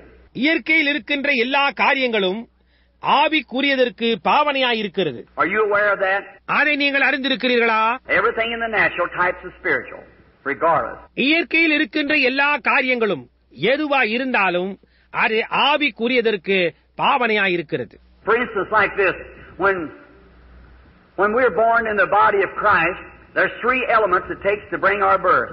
உதாரணமாக இது போன்று நாம் கிறிஸ்துவின் சரீரத்திற்குள்ளாக பிறக்கும் பொழுது நம்முடைய பிறப்பை கொண்டு வருவதற்கு மூன்று மூல பொருட்களை அது எடுத்துக் கொள்ளுகிறது And that's the three elements that came out of the life of Christ when He died. கிறிஸ்துவானவர் மரித்தபோது அவருடைய ஜீவனுக்குள்ளிருந்து வெளிவந்ததும் அந்த மூன்று மூலப்பொருட்களே There come from His body water, blood, spirit. Is that right? அவருடைய சரீரத்திலிருந்து அங்கே தண்ணீர் ரத்தம் ஆவி இவை வெளிவந்தது அது சரியா Three elements. That's the elements we go through when we're born again. Justification, sanctification, baptism of the Holy Spirit. மூன்று மூலப்பொருட்கள் நாம் மறுபடியுமாய் பிறக்கும் போது அந்த மூன்று மூல பொருட்களின் ஊடாகத்தான் நாம் செல்கிறோம் நீதிமான் ஆக்கப்படுதல் பரிசுத்தமாக்கப்படுதல் பரிசுத்த ஆவியின் அபிஷேகம். அவைகள் எல்லாம் ஒரே கிரியையில் வரக்கூடும் But it takes, but you can be in a justified state without being sanctified. ஆனால் பரிசுத்தமாக்கப்படாமலேயே நீங்கள் நீதிமான் ஆக்கப்பட்ட நிலைமையில் இருக்கலாம் You can believe on the Lord Jesus Christ and still carry your filth with you. கர்த்தராகி இயேசு கிறிஸ்துவின் மேல் விசுவாசம் கொண்டவர்களாய் இருந்து கொண்டு உங்களுடைய அசுசியை நீங்கள் தொடர்ந்து உங்களோடு கூட கொண்டு போகலாம் But you can absolutely live in a both justified and a clean, holy life and without the Holy Ghost. ஆனால் நீங்கள் நீதிமான் ஆக்கப்பட்டும் பரிசுத்தமாக்கப்பட்டதுமான நிலையில் முற்றிலுமாய் இருந்து கொண்டு இன்னமும் பரிசுத்த ஆவியின் அபிஷேகமே இல்லாமல் இருக்க முடியும் See the Bible, First John uh, 5, 7 said there are three that bear record in heaven, the Father, Son, and Holy Ghost, and the Father, Word, and Holy Ghost, which was the Son, and these three are one.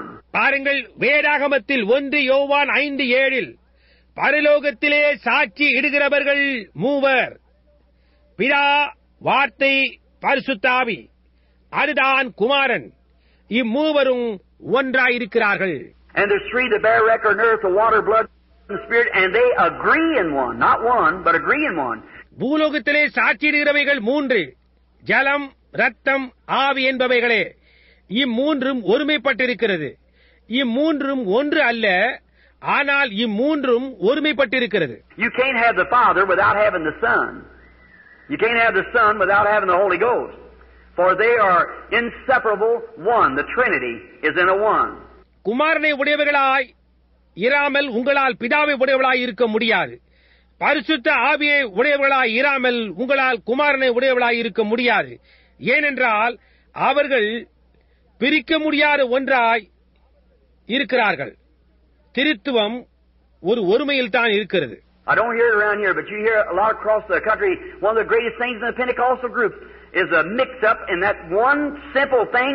அதை இங்கு எங்கும் கேட்பதில்லை நான் ஆனால் தேசத்தின் ஊடாக நான் அதை கேட்கிறேன் பெண்டேகோஸ்தே குழுக்களில் இருக்கின்ற மகத்தான காரியங்களில் ஒன்று அந்த ஒரு சாதாரண காரியத்தின் கலப்பு இருக்கிறது And I've had their heads right together and proved to them they both believe the same thing.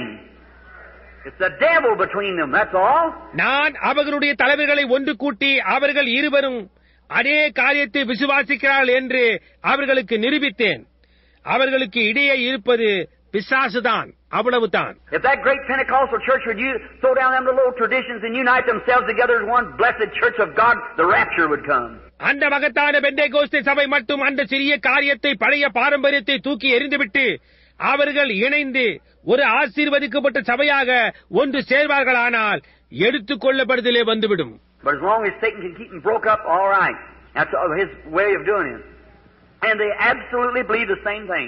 சாத்தான் அவர்களை பிரித்து வைத்திருக்கும் மட்டாய் அப்படியாய் இருக்கும் அது காரியத்தை செய்கின்ற அவனுடைய செய்முறையாய் இருக்கிறது அவர்கள் முற்றிலுமாக அதே காரியத்தை விசுவாசிக்கிறார்கள் One said, well, this is that. I said, well, if this is that, then that's this. So there you are. So it's all the same thing. ஒருவன் சரி இதுதான் அது என்று கூறுகிறான். நானோ சரி இது அதுவாக இருக்குமானால் அப்பொழுது அது இதுவாக இருக்கிறது. எனவே அங்கேதான் காரியம். ஆகையினால் அவை எல்லாம் அதே காரியம்தான் என்று. But there you are, in that uh, triune Trinity of God. ஆனால் அந்த திரியேக திருத்துவ தேவனில் காரியம் அங்கேதான் இருக்கிறது. Now, there, now God in His oneness, God the Father, Son, and Holy Spirit. இப்பொழுது தேவன் அவருடைய ஒருத்துவத்தில் பிதாவாகிய தேவன் குமாரன் பரிசுத்த ஆவியாக இருக்கிறார் Now we don't say our gods as heathens. It's our God. See, it's the threefold being of God. அஞ்ஞானிகளை போன்று நம்முடைய தேவர்கள் என்று நாம் கூறுவதில்லை அது நம்முடைய தேவன் புரிகின்றதா அது மும்மடிப்பான தேவனாய் இருக்கிறது Now notice. Now Satan is in a Trinity also. And his powers are in Trinity. இப்பொழுது கவனியுங்கள் சாத்தானும் கூட ஒரு திருத்துவமாய் இருக்கிறான் அவனுடைய வல்லமைகளும் கூட திருத்துவமாய் இருக்கிறது Now but notice, then when the water, blood, and spirit produces the new birth, is that right? ஆனால் இப்பொழுது கவனியுங்கள் தண்ணீரும் ரத்தமும் ஆவியும் புதிய பிறப்பை உண்டு பண்ணுகிறது அது சரியா Now what, that's what represents the new birth. இப்பொழுது கவனியுங்கள் அதுதான் புதிய பிறப்பிற்கு பிரதிநிதித்துவமாய் இருக்கிறது What represents the na- natural birth before the new birth comes? புதிய பிறப்பு வருவதற்கு முன்னர் இயற்கையான பிறப்பிற்கு என்ன பிரதிநிதித்துவமாய் இருக்கிறது What, you mothers, when a baby's born, what's the first thing? Water. Next, blood. Next, see? That makes the life, see? Makes the person. Water, blood, spirit. உங்களை தான் தாய்மார்களே ஒரு குழந்தை பிறக்கும் பொழுது முதலாவது காரியம் என்ன தண்ணீர். அடுத்தது ரத்தம். அடுத்தது பாருங்கள் அதுதான் ஜீவனை உண்டு பண்ணுகிறது. பாருங்கள் ஒரு நபராக ஆக்குகிறது. தண்ணீர் ரத்தம் ஆவி. Now, cancer, let's deal on him for our next, we've got about five minutes left, I guess. About the next five minutes, let's deal on cancer. இப்பொழுது ஒரு புற்றுநோய். நாம் அடுத்தபடியாக அதன் பேரில் இடைபடுவோம். நமக்கு இன்னும் ஐந்து நிமிடங்கள் தான் இருக்கிறது. நாம் புற்றுநோயை குறித்து பார்ப்போம். What is that fellow? What does he represent? அவன் யார் அவன் எதற்கு பிரதிநிதித்துவமாய் இருக்கிறான் He's a scavenger. He represents the vulture. Eats dead things. அவன் ஒரு தோட்டி அவன் பருந்திற்கு பிரதிநிதித்துவமாய் இருக்கிறான் மரித்த காரியங்களை அது தின்னும் And a cancer comes from a bruise mostly. Where a cell has been hit and it, it breaks up. புற்றுநோயானது ஒரு காயத்திலிருந்து வருகிறது அதிகமாக எங்கே ஒரு உயிரணு உடைக்கப்படுகிறதோ அங்கிருந்துதான் And a little cell in there becomes backslid. Well, that's a big word for a Baptist, ain't it? Mm-hmm. அங்கே இருக்கின்ற ஒரு சிறிய செல் உயிரணு பின்வாங்கி போகிறது ஓ ஒரு பாப்டிஸ்டுக்கு அது ஒரு பெரிய வார்த்தை இல்லையா All right. But it backslides, that cell. I'm a Baptist that believes in backsliding. சரி ஆனால் அது அந்த உயிரணு பின்வாங்கி போகிறது பின்வாங்கி போகுதல் என்பதனை விசுவாசிக்கும் ஒரு பாப்டிஸ்டாய் நான் இருக்கிறேன் Someone said down here in Arkansas meeting, they said, Brother Branham, said, is a fellow Nazarene had been healed. He had to walk around over town with his crutches on his shoulders. அங்கே Arkansas கூட்டத்தில் அன்றொரு நாள் யாரோ ஒருவர் என்னிடத்தில் சகோதரன் பிரணம் என்றார் அவர் Nazarene கூட்டத்தை சேர்ந்தவர் அவர் சுகமாக்கப்பட்டார் அவருடைய கக்கதண்டங்களை தோளின் மேல் வைத்துக் கொண்டு அந்த பட்டணத்தின் ஊடாக நடந்து சென்று He said, you know what? Said, when I first come here, said, I, I thought you heard you preach, I thought you was a Nazarene. என்ன என்று உங்களுக்கு தெரியுமா நான் முதலாவதாக இங்கே வந்தபோது நீர் பிரசங்கிப்பதை நான் கேட்டு நீர் ஒரு நாசரின் என்று நினைத்தேன் He said, then I seen the most of people are Pentecostal, and somebody told me you're a Pentecostal, now you say you're a Baptist. Said, I don't get it. பின்னர் இங்கிருக்கின்ற பெரும்பான்மையானவர்கள் பெண்டேகோஸ்துகள் என்பதை கண்டேன் நீர் பெண்டேகோஸ்தை என்று யாரோ ஒருவர் கூறினார்கள் இப்பொழுது நீர் நான் ஒரு பாப்டிஸ்ட் என்று கூறுகிறீர் எனக்கு ஒன்றுமே புரியவில்லை என்றார் oh,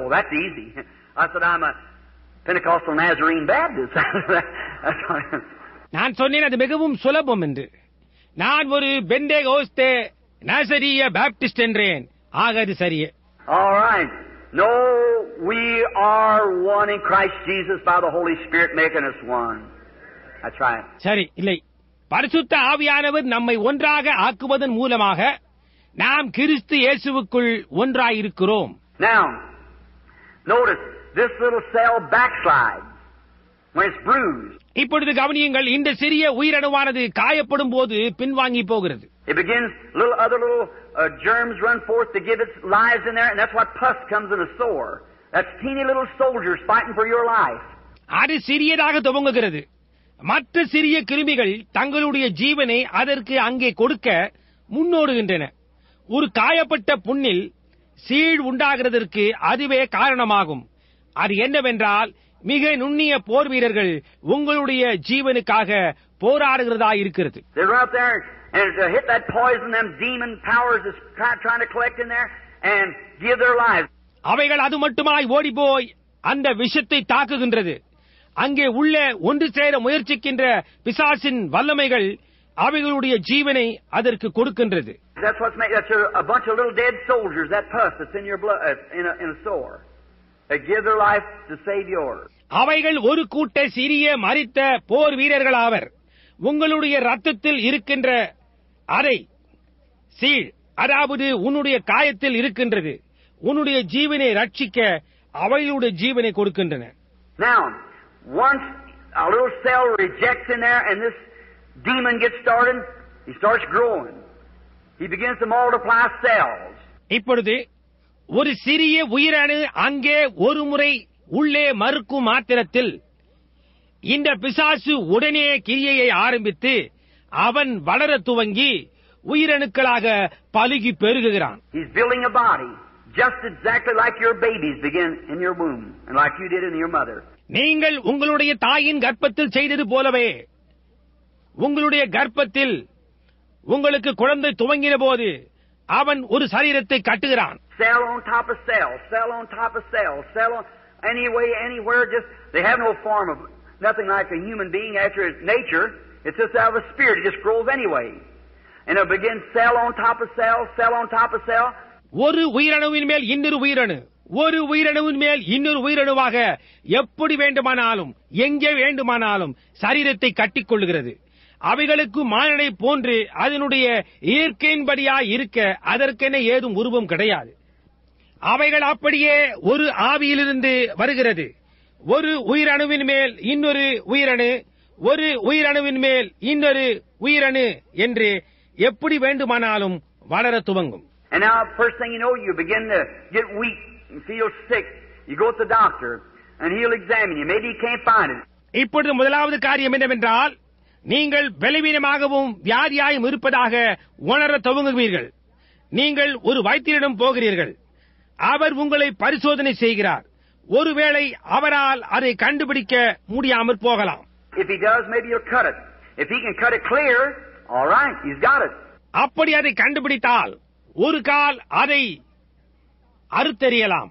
வைத்தியரால் அது எல்லாவற்றையும் அறுத்தெறிய முடிந்தால் சரிதான்.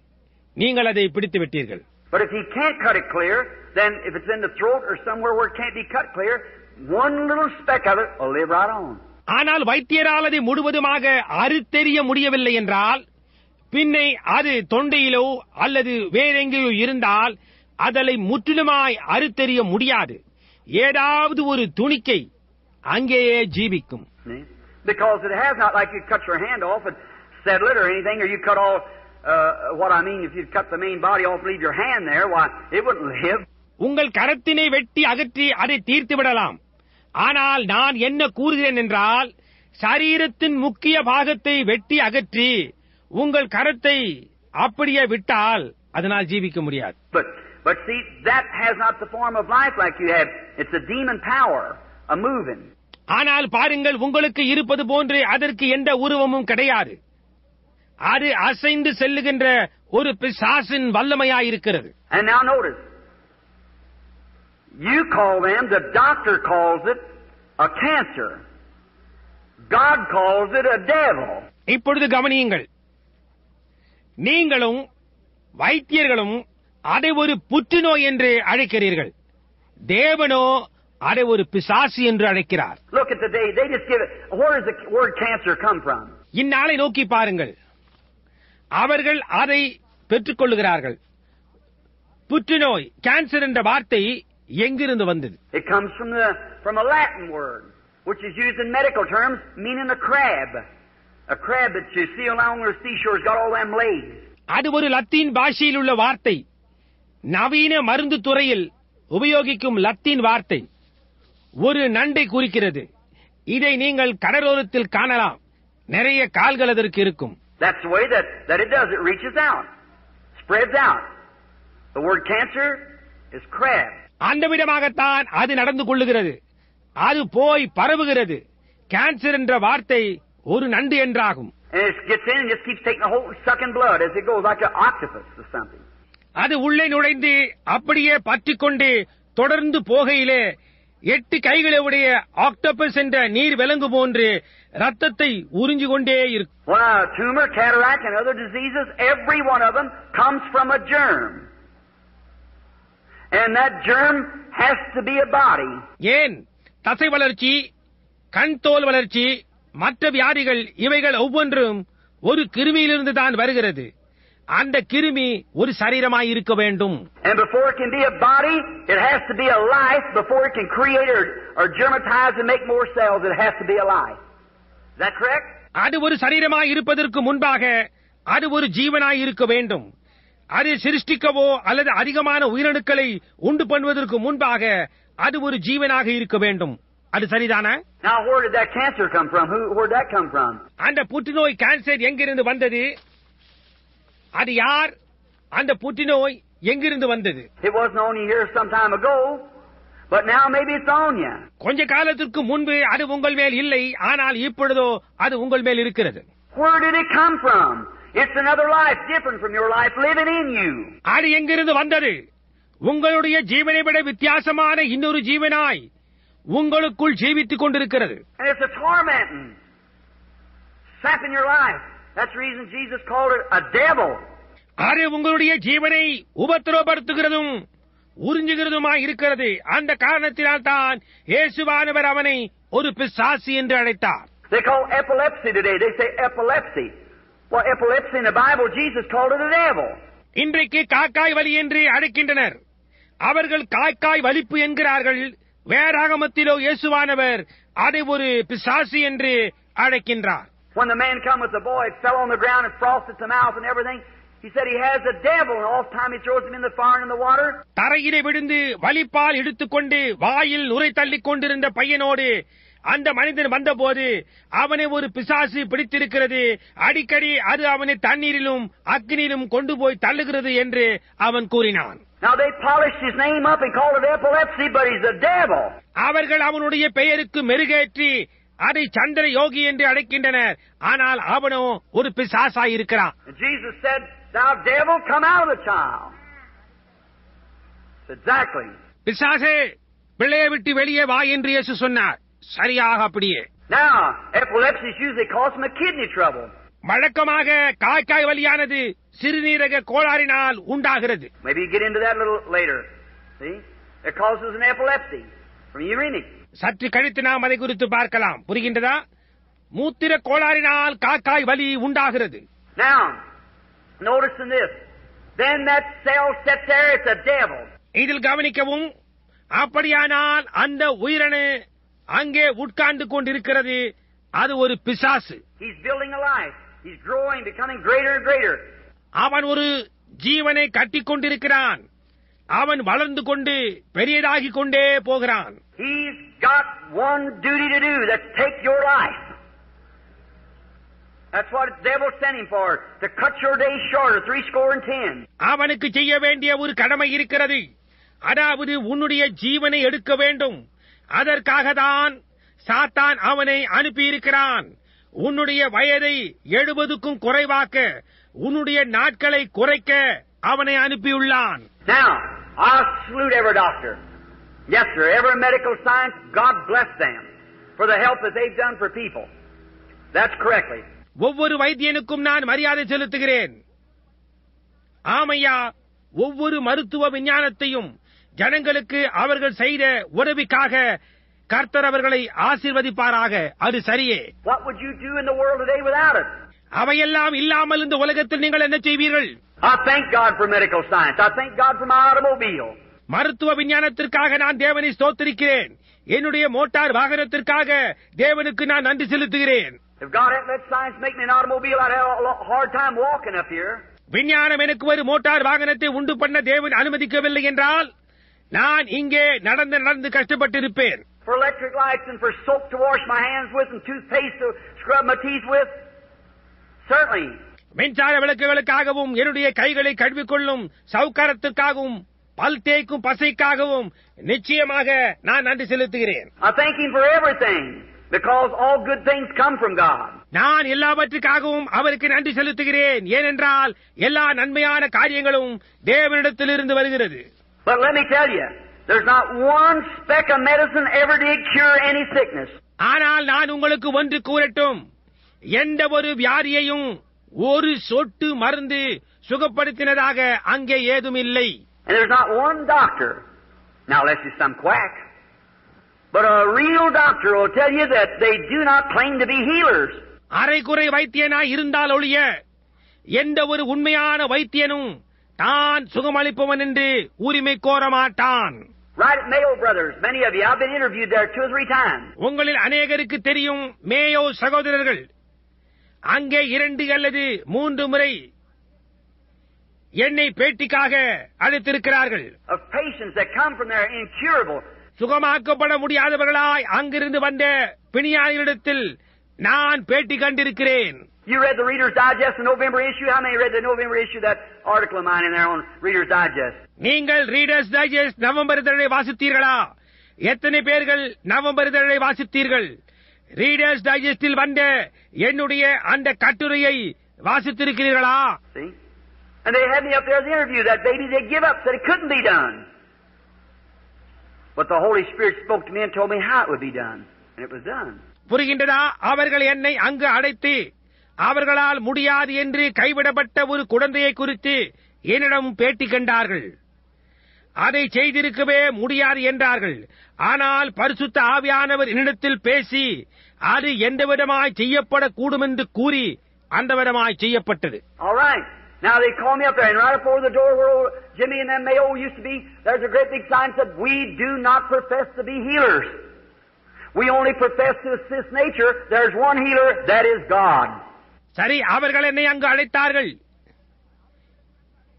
ஜிம்மியும் மற்றவர்களும் இருக்கின்ற அந்த இடத்தின் கதவின் மேல் அங்கே வழக்கமாக ஒரு பெரிய விளம்பர பலகை வைக்கப்பட்டிருக்கும் அதில் நாங்கள் சுகமளிப்பவர்கள் என்று சொல்லிக் கொள்வதில்லை இயற்கைக்கு நாங்கள் ஒத்தாசை செய்கிறோம் என்றுதான் சொல்லிக் கொள்கிறோம் அங்கே ஒரு சுகமளிப்பவர் இருக்கிறார் அவர் தேவன் என்று எழுதியிருந்தது. உலகத்தில் அவர்கள் மிகவும் தேர்ச்சி வாய்ந்தவர்கள் we have a few quacks, yes. That's right, we have some quack preachers too. All right, so that goes on both sides. நம்மிடத்தில் ஒரு சில அரைகுறைகள் இருக்கிறார்கள் ஆம் அது சரியே நம்மிடத்தில் சில அரைகுறை பிரசங்கிமார்களும் கூட இருக்கிறார்கள் அது சரி ஆக அது இரண்டு பக்கங்களிலும் போய்க் கொண்டிருக்கிறது Notice, but any man that claims that he's a healer, he's a storyteller. Because he can't do it. கவனியுங்கள் சுகமளிப்பவன் என்று தன்னை உரிமை கோருகின்ற எந்த ஒரு மனிதனும் ஒரு கதை சொல்லுகிறவனாய் இருக்கிறான் ஏனென்றால் அவனால் அதை செய்ய முடியாது For the Bible said, I'm the Lord who forgives all your sins and heals all your diseases. ஏனென்றால் உன்னுடைய பாவங்களை எல்லாம் மன்னிக்கிறதும் உன்னுடைய நோய்களை எல்லாம் குணமாக்குறதுமான கர்த்தர் நானே என்று வேதம் கூறுகின்றது.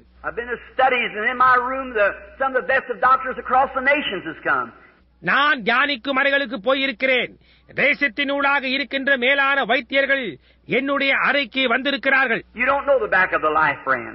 To know what's been and things I don't tell out in public. Men come secretly and நண்பனே வாழ்க்கைக்கு பின்னால் இருக்கின்றது உனக்கு தெரியாது. என்ன சம்பவித்தது முதலான காரியங்களை அறிந்து கொள்ள? அவைகளை பொது கூட்டங்களில் நான் அறிவிக்கிறதில்லை. ஜனங்கள் ரகசியமாக என்னிடத்தில் வருகிறார்கள்.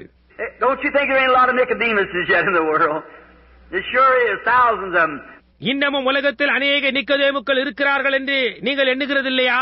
நிச்சயமாக இருக்கிறார்கள். ஆயிரக்கணக்கானவர்கள் இருக்கிறார்கள். Sit there with a T-shirt on, something like that, with polished names that you'd be surprised. Sit right in the meeting. அவர்கள் அதை கூர்ந்து பார்த்து கூட்டங்களுக்கு வருகிறார்கள் ஒரு டி ஷர்ட் அணிந்து கொண்டு அங்கே யாரோ ஒருவர் போன்று நீங்கள் ஆச்சரியப்படத்தக்கதான பளபளப்பான பெயர்களை உடையவர்கள் சரியாக இங்கே வந்து கூட்டத்தில் உட்கார்ந்திருப்பார்கள். ஒரு சில நாட்கள் இப்படியாய் உள்ளே நுழைவது ரகசியமாக உள்ளே வருவது யாராவது ஒருவரை பேட்டிக்காக உள்ளே அனுப்புவது போன்று செய்வார்கள். சகோதரன் பெண்ணாம் அது உண்மை என்று நான் விசுவாசிக்கிறேன் என்று அப்படியே கூறுவார்கள் They're human, just same as we are. நம்மை போன்றே அவர்களும் மனிதர்கள்தான் Sure, and every man's desiring to look beyond that dark veil never he has to go through someday. நிச்சயமாக என்றோ ஒரு நாளில் அவன் போக வேண்டியதாய் இருக்கின்ற அக்கறையின் இருண்ட திரைக்கு அப்பால் பார்ப்பதற்கு ஒவ்வொரு மனிதனும் வாஞ்சையாயிருக்கிறான்.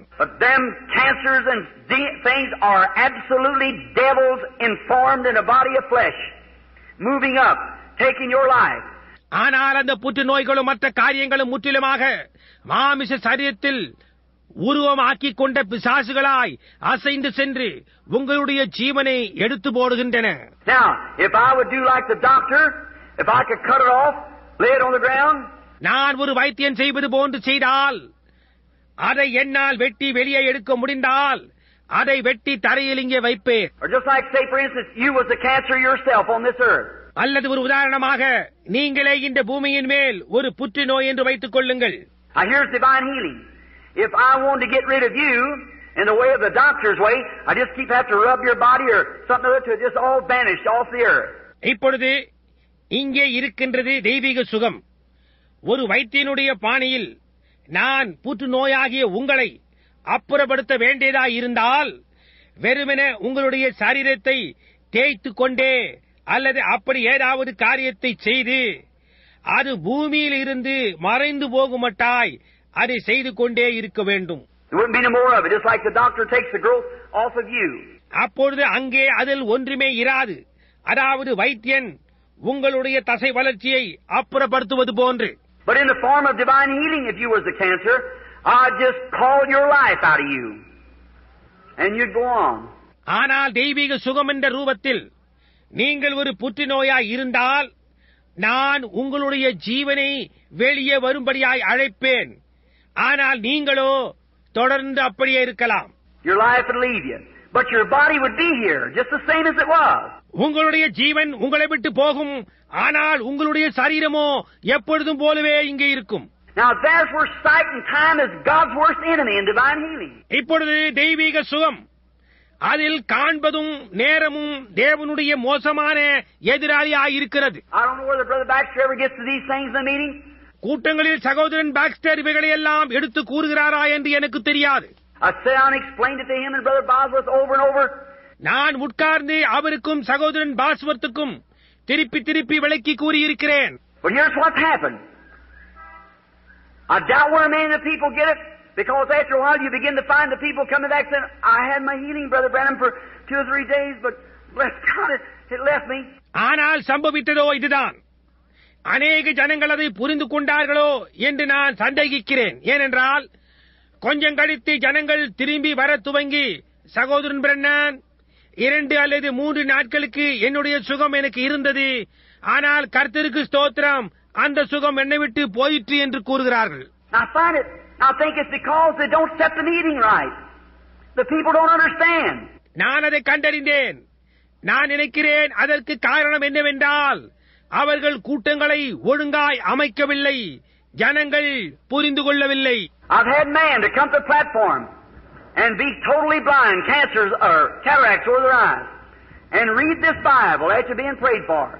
Walk down in three or four days, be just as blind as it was in the first place. முற்றிலுமாய் குருடாய் இருந்தவர்கள் புற்றுநோயாளிகள் கண்களில் தோல் வளர்ச்சி அடைந்துள்ளவர்கள் மேடை மேல் ஏறி வந்து அவர்களுக்காக ஜெபித்த பின்னர் அவர்கள் வேதாகமத்தை திறந்து வாசிக்கிறதையும் மேடையின் மேல் நடந்து போகிறதையும் நான் கண்டு பின்னர் இரண்டு அல்லது மூன்று நாட்கள் கழித்து வந்து முதன் முதலில் இருந்தது போலவே அவ்வளவு குருடாய் இருக்கிறோம் என்று என்னிடத்தில் கூறியிருக்கிறார்கள்? என்ன சம்பவித்தது Anyone knows that when the life is gone out of a, any flesh, it shrinks for a while. Is that right? இது யாருக்கும் தெரிந்ததே எந்த ஒரு மாமிச சரீரத்தில் இருந்தும் ஜீவன் வெளியேறும் போது அது சற்று நேரத்துக்கு சுருங்கி போகிறது அது சரியா Anybody ever here kill a deer or a cow or anything like that? Sure. All right? இங்கிருக்கின்ற யாராவது எப்பொழுதாவது ஒரு மானையோ அல்லது ஒரு மாட்டையோ அல்லது வேறு எதையாவது அதை போன்றதை கொன்றதுண்டா You weigh it tonight. You hunters out here, friends of mine. You kill the deer and you throw him on a scale, tell the boys how much he weighs. Watch out. In the morning he's going to be several pounds lighter than what he was. இங்கிருக்கின்ற வேட்டைக்காரர்களே என் நண்பர்களே இன்றிரவு அதை எடை போட்டு பாருங்கள். மானை கொன்று அதை எடையிட்டு பாருங்கள். எவ்வளவு எடை என்று பையன்களிடம் கூறுங்கள். கவனித்து பாருங்கள். பொழுது விடிந்து காலையில் அதை எடை போட்டு பாருங்கள். அநேக பவுண்டு எடை முன்பு இருந்ததை விட குறைவாயிருக்கும். When a human being dies, the undertaker, the first thing, takes the false teeth or an eye, whatever it is in there, takes it out because it shrinks, it'll push out. Because the human body shrinks. ஒரு மானிடன் மறிக்கும் போது அடக்கம் செய்பவர்கள் செய்கின்ற முதலாவது காரியம் பொய் பல்லோ அல்லது கண் அதில் வைக்கப்பட்டு இருந்தால் எதையும் முதலாவது வெளியே எடுத்து விடுவார்கள் ஏனென்றால் அது சுருங்கும் மானிட சரீரம் சுருங்கும் போது இவைகளை எல்லாம் அது வெளியே தள்ளும் Every other flesh shrinks. When the life's gone out of the cell, it begins to move down, shrink. மற்றெல்லா மாம்சமும் சுருங்கும் உயிர் அணுக்களிலிருந்து ஜீவன் வெளியேறின உடனே அது அப்படியே சுருங்க துவங்கும் It'll do that for about 72 hours. And then it'll start swelling. அந்த விதமாக சரீரமானது 72 மணி நேரம் மட்டுமாய் சுருங்கும் அதன் பிறகு அது வீங்க துவங்கும் Let a little dog get run over out here on the road. Let him lay down in the sun for about three days and watch what happens. வண்டியில் சிக்கிக்கொண்டு வீதியில் ஒரு நாய் மறிக்கட்டும் அது அங்கேயே சூரிய வெளிச்சத்தில் ஒரு மூன்று நாளைக்கு இருக்கட்டும் என்ன சம்பவிக்கிறது என்று பாருங்கள்? முன்பு இருந்ததை காட்டிலும் சற்று பருமனாகி இருக்கும் அது வீங்கி போகும் அது சரியா.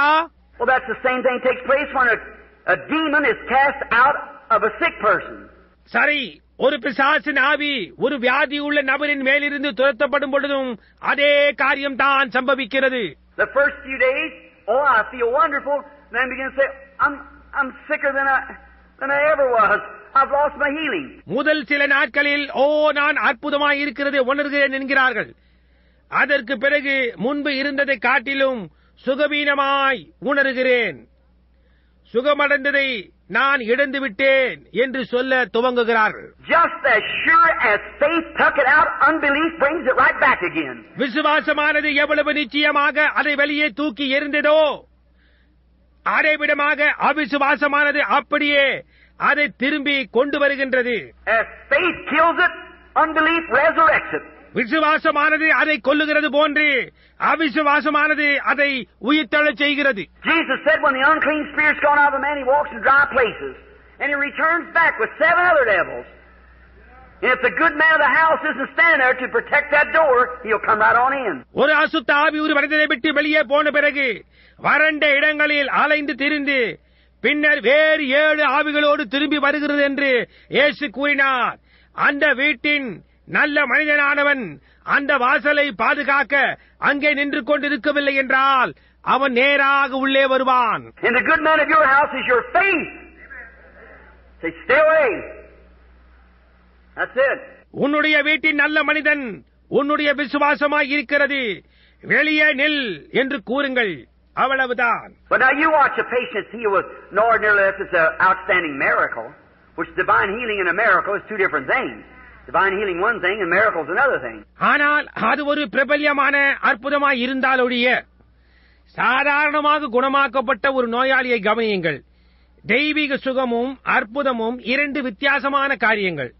தெய்வீக சுகம் என்பது ஒரு காரியம் அற்புதம் என்பது இன்னொரு காரியம். But an ordinary run of divine healing, when the unclean spirits cast out a cancer devil, when it leaves the person, oh, ஆனால் ஒரு சாதாரண தெய்வீக சுகத்தில் அசுத்த ஆவியானது அவனிடத்திலிருந்து துரத்தப்பட்ட போது ஒரு புற்றுநோய் பிசாசு என்று வைத்துக் கொள்ளுங்கள் அது அந்த நபரை விட்டு புறப்படும் போது ஓ. அல்லது நீங்கள் காணக்கூடிய விதமான ஏதாவது காரியத்தை நாம் எடுத்துக்கொள்வோம் கண்களின் தோல் வளர்ச்சியை எடுத்துக்கொள்வோம்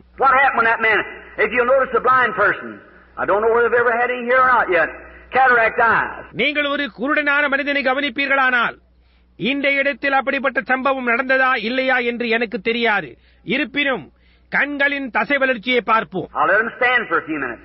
Why? So that shrinkage begins to take place. ஒரு சில நிமிஷம் அப்படியே நிற்கட்டும் ஏன் அதனால் அந்த சுருங்குதல் அங்கேயே துவங்குகின்றது. அவர்களை திரும்பி வந்து ஒரு சாட்சியை கூறும்படி அவரிடத்தில் சொல்லுங்கள் Oh my, they can see wonderful. Oh my, just, I can see things, yes. I, what's the matter? Life is gone. The body of the cataract is shrinking. அவர்கள் சொல்லுவார்கள் ஓ என்ன எங்களால் அற்புதமாய் காண முடியும் ஓ என்ன என்னால் காரியங்களை காண முடிகிறது என்பார்கள் என்ன நடந்தது ஜீவன் போய்விட்டது கண்ணின் வளர்ந்த சதை சுருங்குகிறது Well, they'll do that way for a couple of days. Say, "Oh, I'm getting so well." சரி அது அந்த விதமாகவே ஒரு சில நாட்களுக்கு சுருங்கும் ஓ நான் சுகமாகிக் கொண்டே போகிறேன் என்பார்கள்.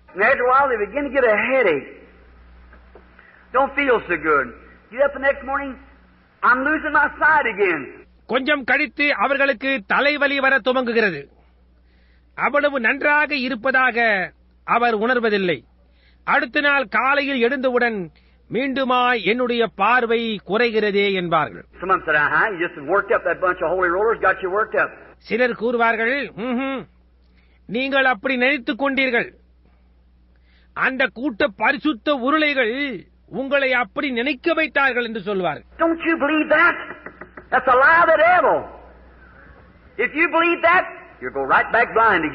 நீங்கள் அதை ஒன்று விசுவாசிக்க வேண்டாம் அது பிசாசின் ஒரு பொய் நீங்கள் அதை விசுவாசிப்பீர்களானால் நீங்கள் மீண்டுமாய் குருடாகி விடுவீர்கள் But if you just hold on, say, No, Lord, I believe.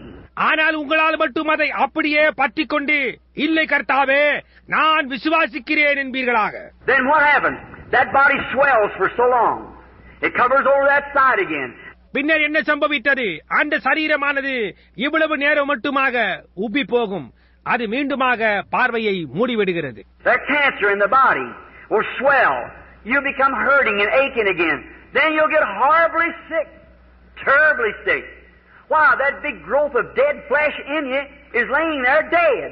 சரீரத்தில் இருக்கின்ற அந்த புற்றுநோய் வீங்கும் மறுபடியுமாய் உங்களுக்கு தொல்லை கொடுத்து வலிக்கும் பின்னர் நீங்கள் பயங்கரமாக சுகவீனமாவீர்கள் ஏன் அந்த பெரிய மறித்த மாம்சத்தின் வளர்ச்சி உனக்குள்ளாக அங்கேயே இருக்கிறது அது மரித்து போனது You go back to the doctor and you say, Oh, that's nonsense. There's a cancer right there. I can see it. Sure it's there, but it's dead. Hallelujah. நீங்கள் திரும்பி வைத்தியரிடம் போவீர்களானால் அவர் ஓ அது அர்த்தமற்றது அதோ அந்த புற்றுநோய் அங்கேயே இருக்கிறது என்னால் அதை பார்க்க முடிகிறதே என்பார்கள் நிச்சயமாக அது அங்கேதான் இருக்கிறது ஆனால் அது மரித்து போயிற்று அல்லேலுயா Now the bloodstream has to purify the body. ரத்த ஓட்டமானது சரீரத்தை சுத்தப்படுத்த வேண்டி இருக்கிறது Every time the heart pumps, it throws the blood around the body. And it picks up that infection. Sure it'll make you sick. ஒவ்வொரு முறை இருதயம் துடிக்கும் போதும் அது ரத்தத்தை சரீரத்தை சுற்றி பரவ செய்கிறது அது அந்த தொற்று நோயை அள்ளிக்கொண்டு போகும் நிச்சயமாக அது உங்களை சுகவீனமாக்கும்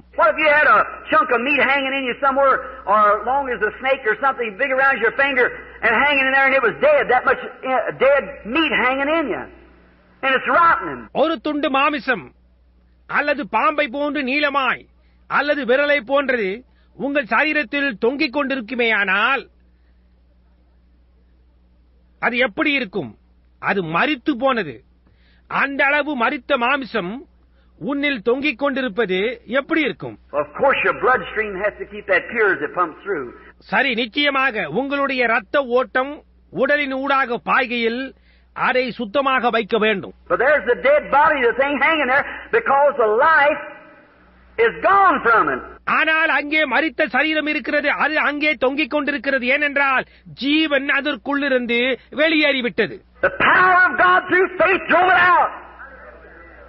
He's a demon, he has to leave. விசுவாசத்தின் மூலமாக தேவனுடைய வல்லமையானது அதை வெளியே துரத்தியது அது ஒரு பொல்லாத ஆவி அது வெளியே போயாக வேண்டும் But the reason the people's not instructed, they go away and give up, and that same devil standing right there to take over again. ஆனால் அதற்கு காரணம் ஜனங்களுக்கு போதிக்கப்பட்டிராதிருப்பதே அவர்கள் வெளியே போய் விட்டு விடுகிறார்கள் அதே பிசாசு அங்கே வெளியே நின்று கொண்டு மீண்டுமாய் அவர்களை பிடித்துக் கொள்கிறான் When God tells you anything on this platform through His Spirit, when He's under inspiration, don't you doubt that, or a worse thing will come upon you, He said. இந்த மேடையின் மேல் தேவன் ஏதாவது காரியத்தை அவருடைய ஆவியின் மூலமாக ஏவுதலின்படியாய் கூறும் பொழுது நீங்கள் அதை சந்தேகிக்க வேண்டாம் இல்லையேல் அது மோசமான காரியமாய் உங்கள் மேல் வரும் என்று அவர் கூறினார் For Jesus said the last estate of that man was seven times worse than it was at the first place. Is that right? ஏனென்றால் அந்த மனுஷனுடைய முன்னிலைமையிலும் அவனுடைய பின்னிலைமை அதிக கேடுள்ளதா இருந்ததென்று இயேசு கூறினார் அது சரிதானே When the unclean spirit went out of a man, he walked around in dire places, come back with seven other devils. அசுத்த ஆவியானது ஒரு மனுஷனை விட்டு போன போது அது வறண்ட இடங்களில் அலைந்து திரிந்து வேறு ஏழு பிசாசுகளோடு திரும்பி வந்தது So don't you disbelieve. Stay right with it. Mean it from your heart. எனவே நீங்கள் அவிசுவாசியாதேயுங்கள். அதனோடு அப்படியே இணைந்து இருங்கள். உங்கள் இருதயத்தில் அப்படியே விசுவாசியுங்கள்.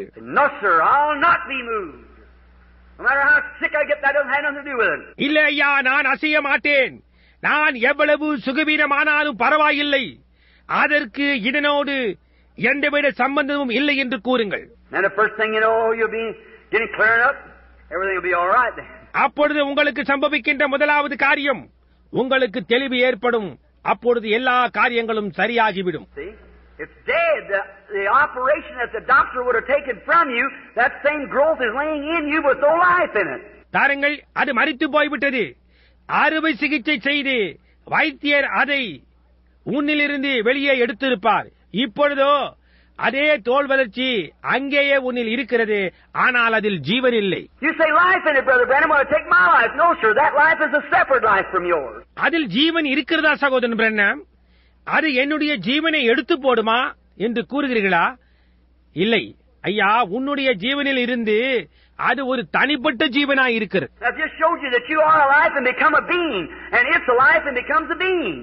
And you're of God and it's of the devil. நீங்கள் ஒரு ஆவியாய் இருந்து ஒரு ஜீவியாய் ஆனீர்கள் என்பதை நான் உங்களுக்கு இப்பொழுது காட்டினேன் அது ஒரு ஆவியாய் இருந்து இப்பொழுது அது ஒரு ஜீவியாய் ஆகியிருக்கிறது நீங்கள் தேவனால் ஆனவர்கள் அதுவோ பிசாசினால் ஆனது See what I mean?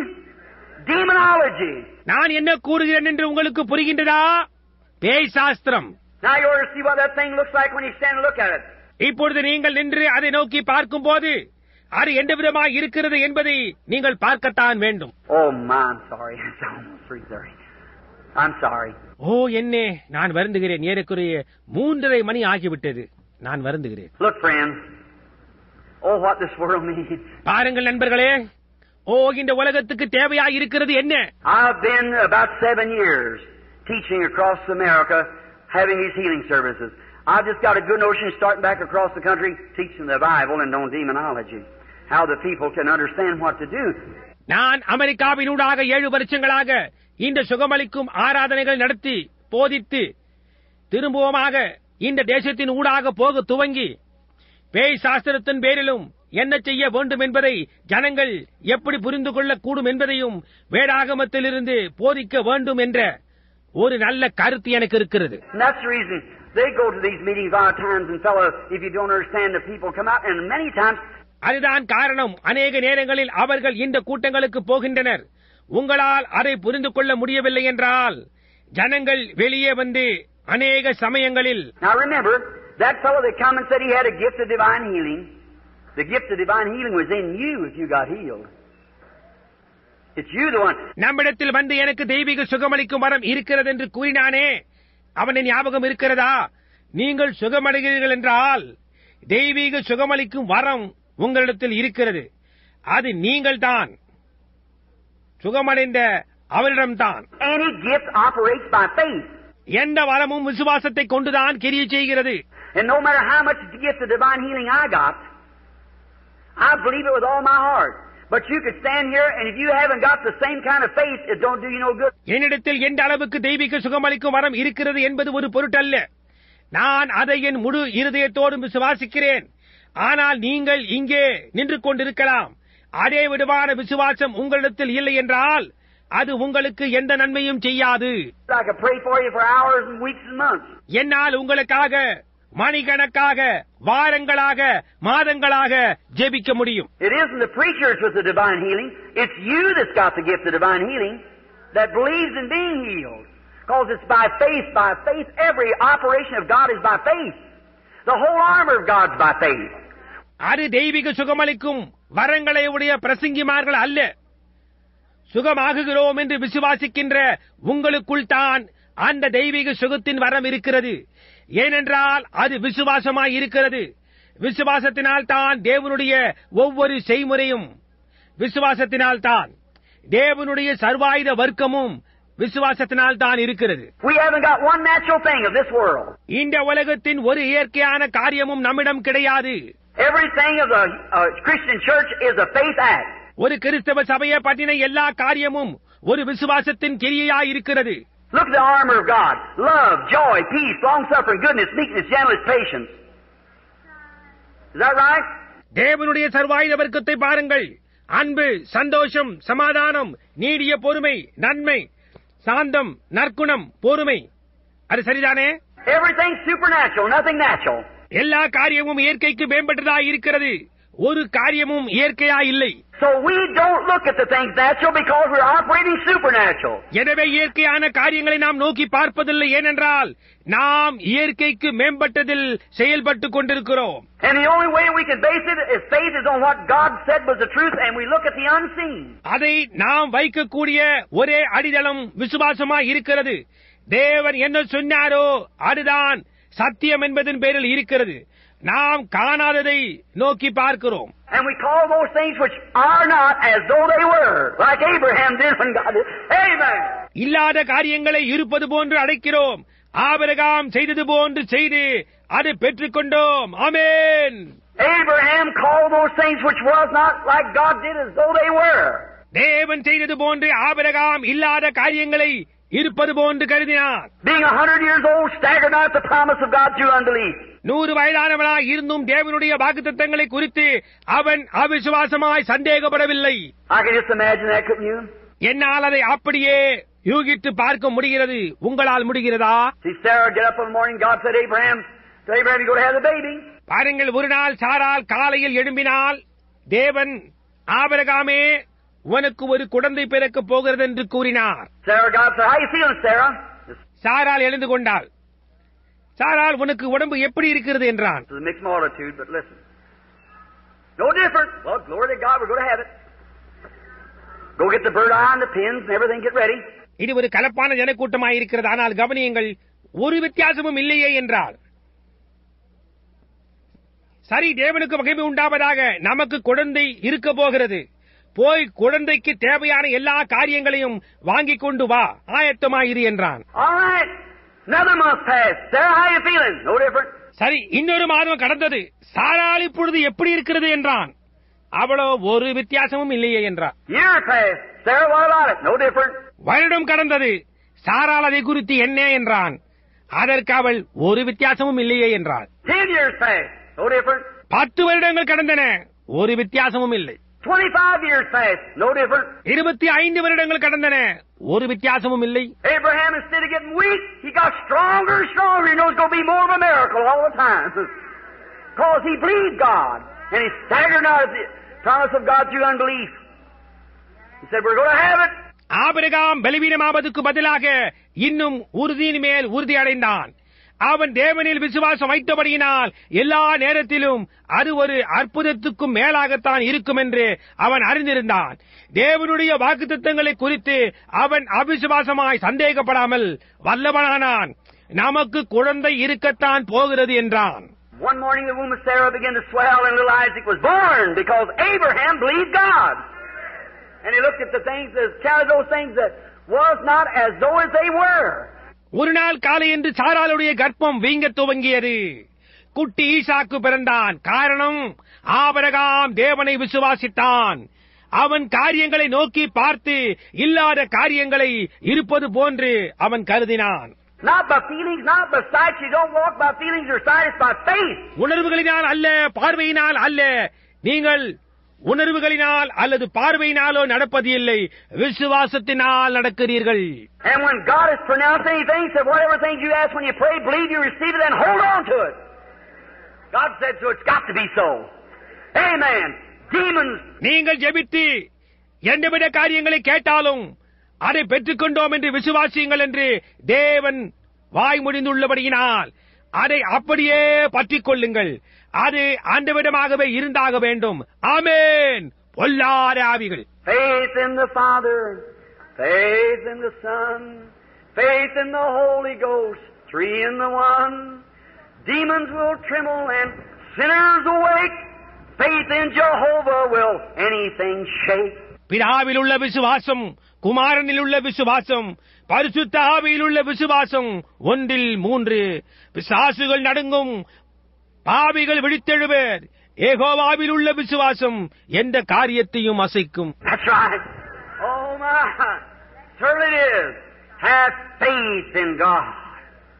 Look to Him. Don't you move. Stay right there. God said so. அது உண்மை ஓ என்னே நிச்சயமாக அது அப்படியா இருக்கிறது தேவனில் விசுவாசம் உள்ளவளாய் இருங்கள் அவரை நோக்கி பாருங்கள். எங்கும் அசைந்து போக வேண்டாம். அங்கேயே தரித்திருங்கள். தேவன் அமிதமாய் கூறியிருக்கிறார். பேய்கள் அவைகள் என்னவாய் இருக்கிறது? அவைகள் ஆவியான ஜீவன்கள். Now the, the doctor says, you got cancer, you got TB, you got cataract, you got pleurisy, you got this. It's a devil. இப்பொழுது உங்களுக்கு புற்றுநோய் இருக்கின்றது. உங்களுக்கு சயரோகம் இருக்கின்றது. உங்களுக்கு கண் தோல் வறட்சி இருக்கின்றது. நுரையீரலில் தண்ணீர் தேக்கத்தினால் உண்டாகும் வலி இருக்கிறது. உங்களுக்கு இரு இருக்கிறது என்று வைத்தியர்கள் கூறுகிறார்கள். அது ஒரு பிசாசு. அது ஒரு ஜீவனாய் இருக்கிறது. அந்த ஜீவனுக்கு பின்னாக ஒரு ஆவி இருக்கிறது.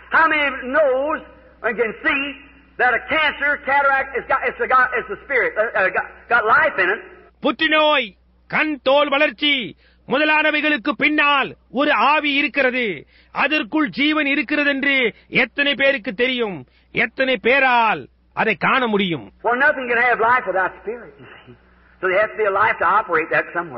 ஆவி இல்லாமல் ஒன்றிற்கும் ஜீவன் இருக்காது. பாருங்கள் எனவே அதை செயலில் ஈடுபடுத்த எங்கோ ஒரு ஜீவன் இருக்கத்தான் வேண்டும். அங்கே இருக்கின்ற அந்த மரத்திற்குள்ளும் கூட ஜீவன் இருக்கிறது All the science in the world couldn't make one blade of grass. Did you know that? உலகத்தில் உள்ள எல்லா விஞ்ஞானமும் ஒன்று திரண்டும் ஒரு புல்லின் ஒரு இதழை கூட உண்டு பண்ண முடியாது உங்களுக்கு தெரியுமா They make something look like it, but they can't find the formula of life. That's God. See? அதை போன்று காணப்படுகின்ற ஏதோ ஒன்றை அவர்கள் உண்டாக்குகிறார்கள் ஆனால் அவர்களால் ஜீவனின் சூத்திரத்தை கண்டுபிடிக்க முடியவில்லை அது தேவனாயிருக்கிறது.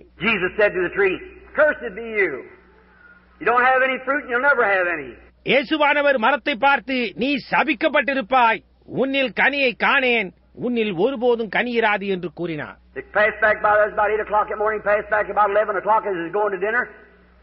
Peter said, Look at that tree. It's dead from the roots up. அவர்கள் அதேபடியாய் திரும்பி வந்தார்கள் அப்பொழுது காலை எட்டு மணி இருக்கும் திரும்பி வரும்போது ஒரு பதினோரு மணி இருக்கும் அவர்கள் இரவு போஜனத்திற்காக போய்க் கொண்டிருக்கும் போது பேதுரு அதை பார்த்து அந்த மரத்தை பாருங்கள் வேரிலிருந்து மரித்து போயிருக்கிறது என்றார் Why? Jesus rebuked the life that was in that tree, that was in the roots, and the whole thing died. Hallelujah! ஏன் இயேசுவானவர் அந்த மரத்தில் இருந்த ஜீவனை அந்த ஜீவன் அதன் வேரில் இருந்தது அதை கடிந்து கொண்டார் முழு மரமும் செத்து போயிற்று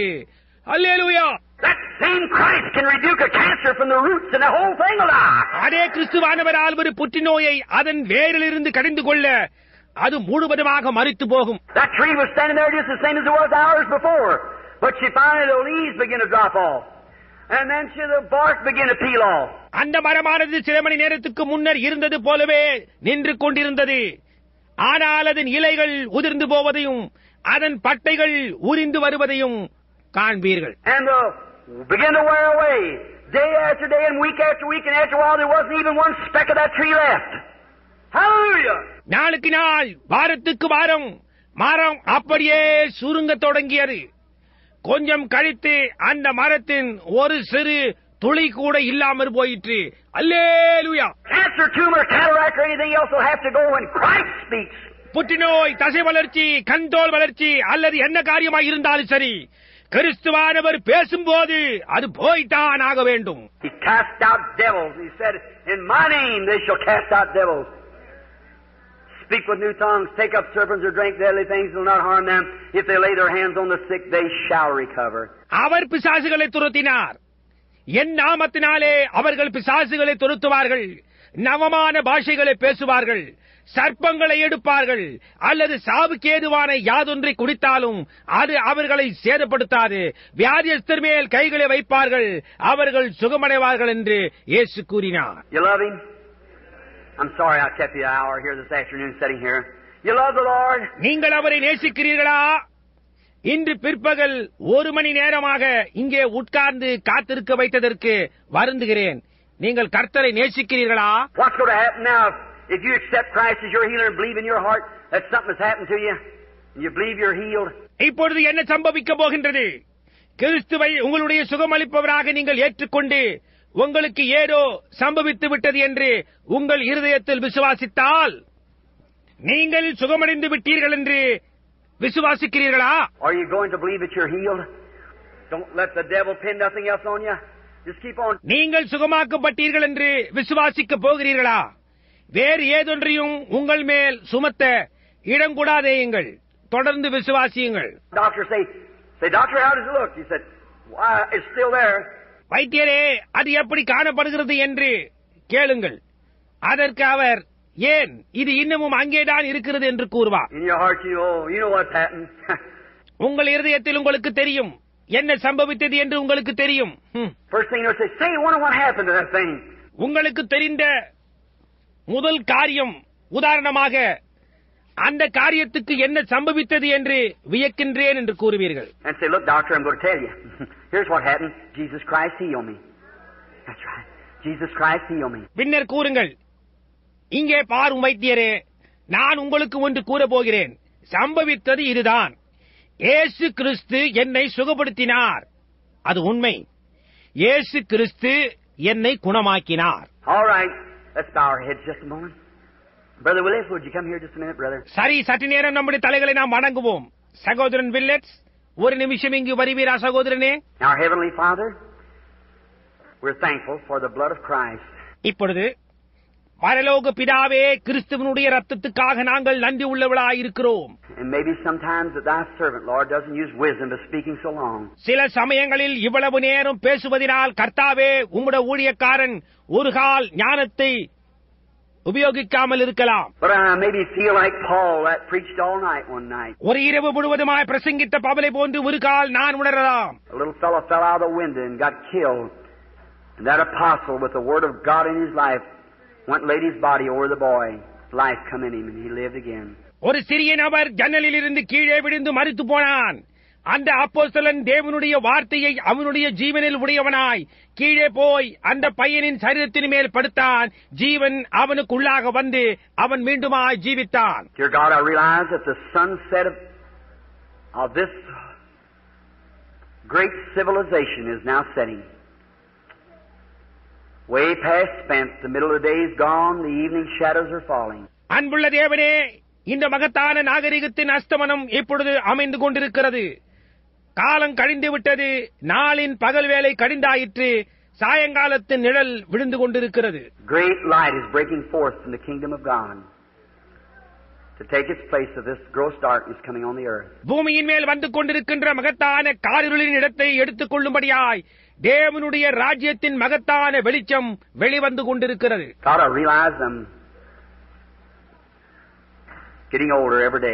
தேவனே ஒவ்வொரு நாளும் எனக்கு வயதாகிக் கொண்டே போகின்றதை நான் உணர்கிறேன் Let me go, Lord. Give me strength. Help me to tell this great truth everywhere. நான் போக அனுமதியும் கர்த்தாவே எனக்கு பலன் தாரும் எல்லா இடங்களிலும் இந்த மகத்தான சத்தியத்தை கூற எனக்கு உதவி செய்யும்.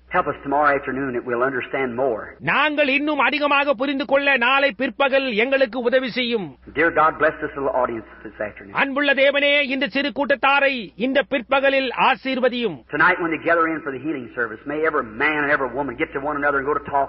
and saying, now here's, don't, don't have any more doubt. இன்றிரவு சுகமளிக்கும் ஆராதனைக்காக அவர்கள் கூடி வருகையில் நமக்கு இனி எந்த சந்தேகமும் இல்லை என்று ஒவ்வொரு ஆணும் பெண்ணும் ஒருவருக்கொருவர் கூறிக்கொள்வார்களாக. அது எங்கிருந்து வருகிறது என்று நாங்கள் புரிந்து கொண்டோம். அது ஒரு பிசாசி என்று நாங்கள் அறிவோம்.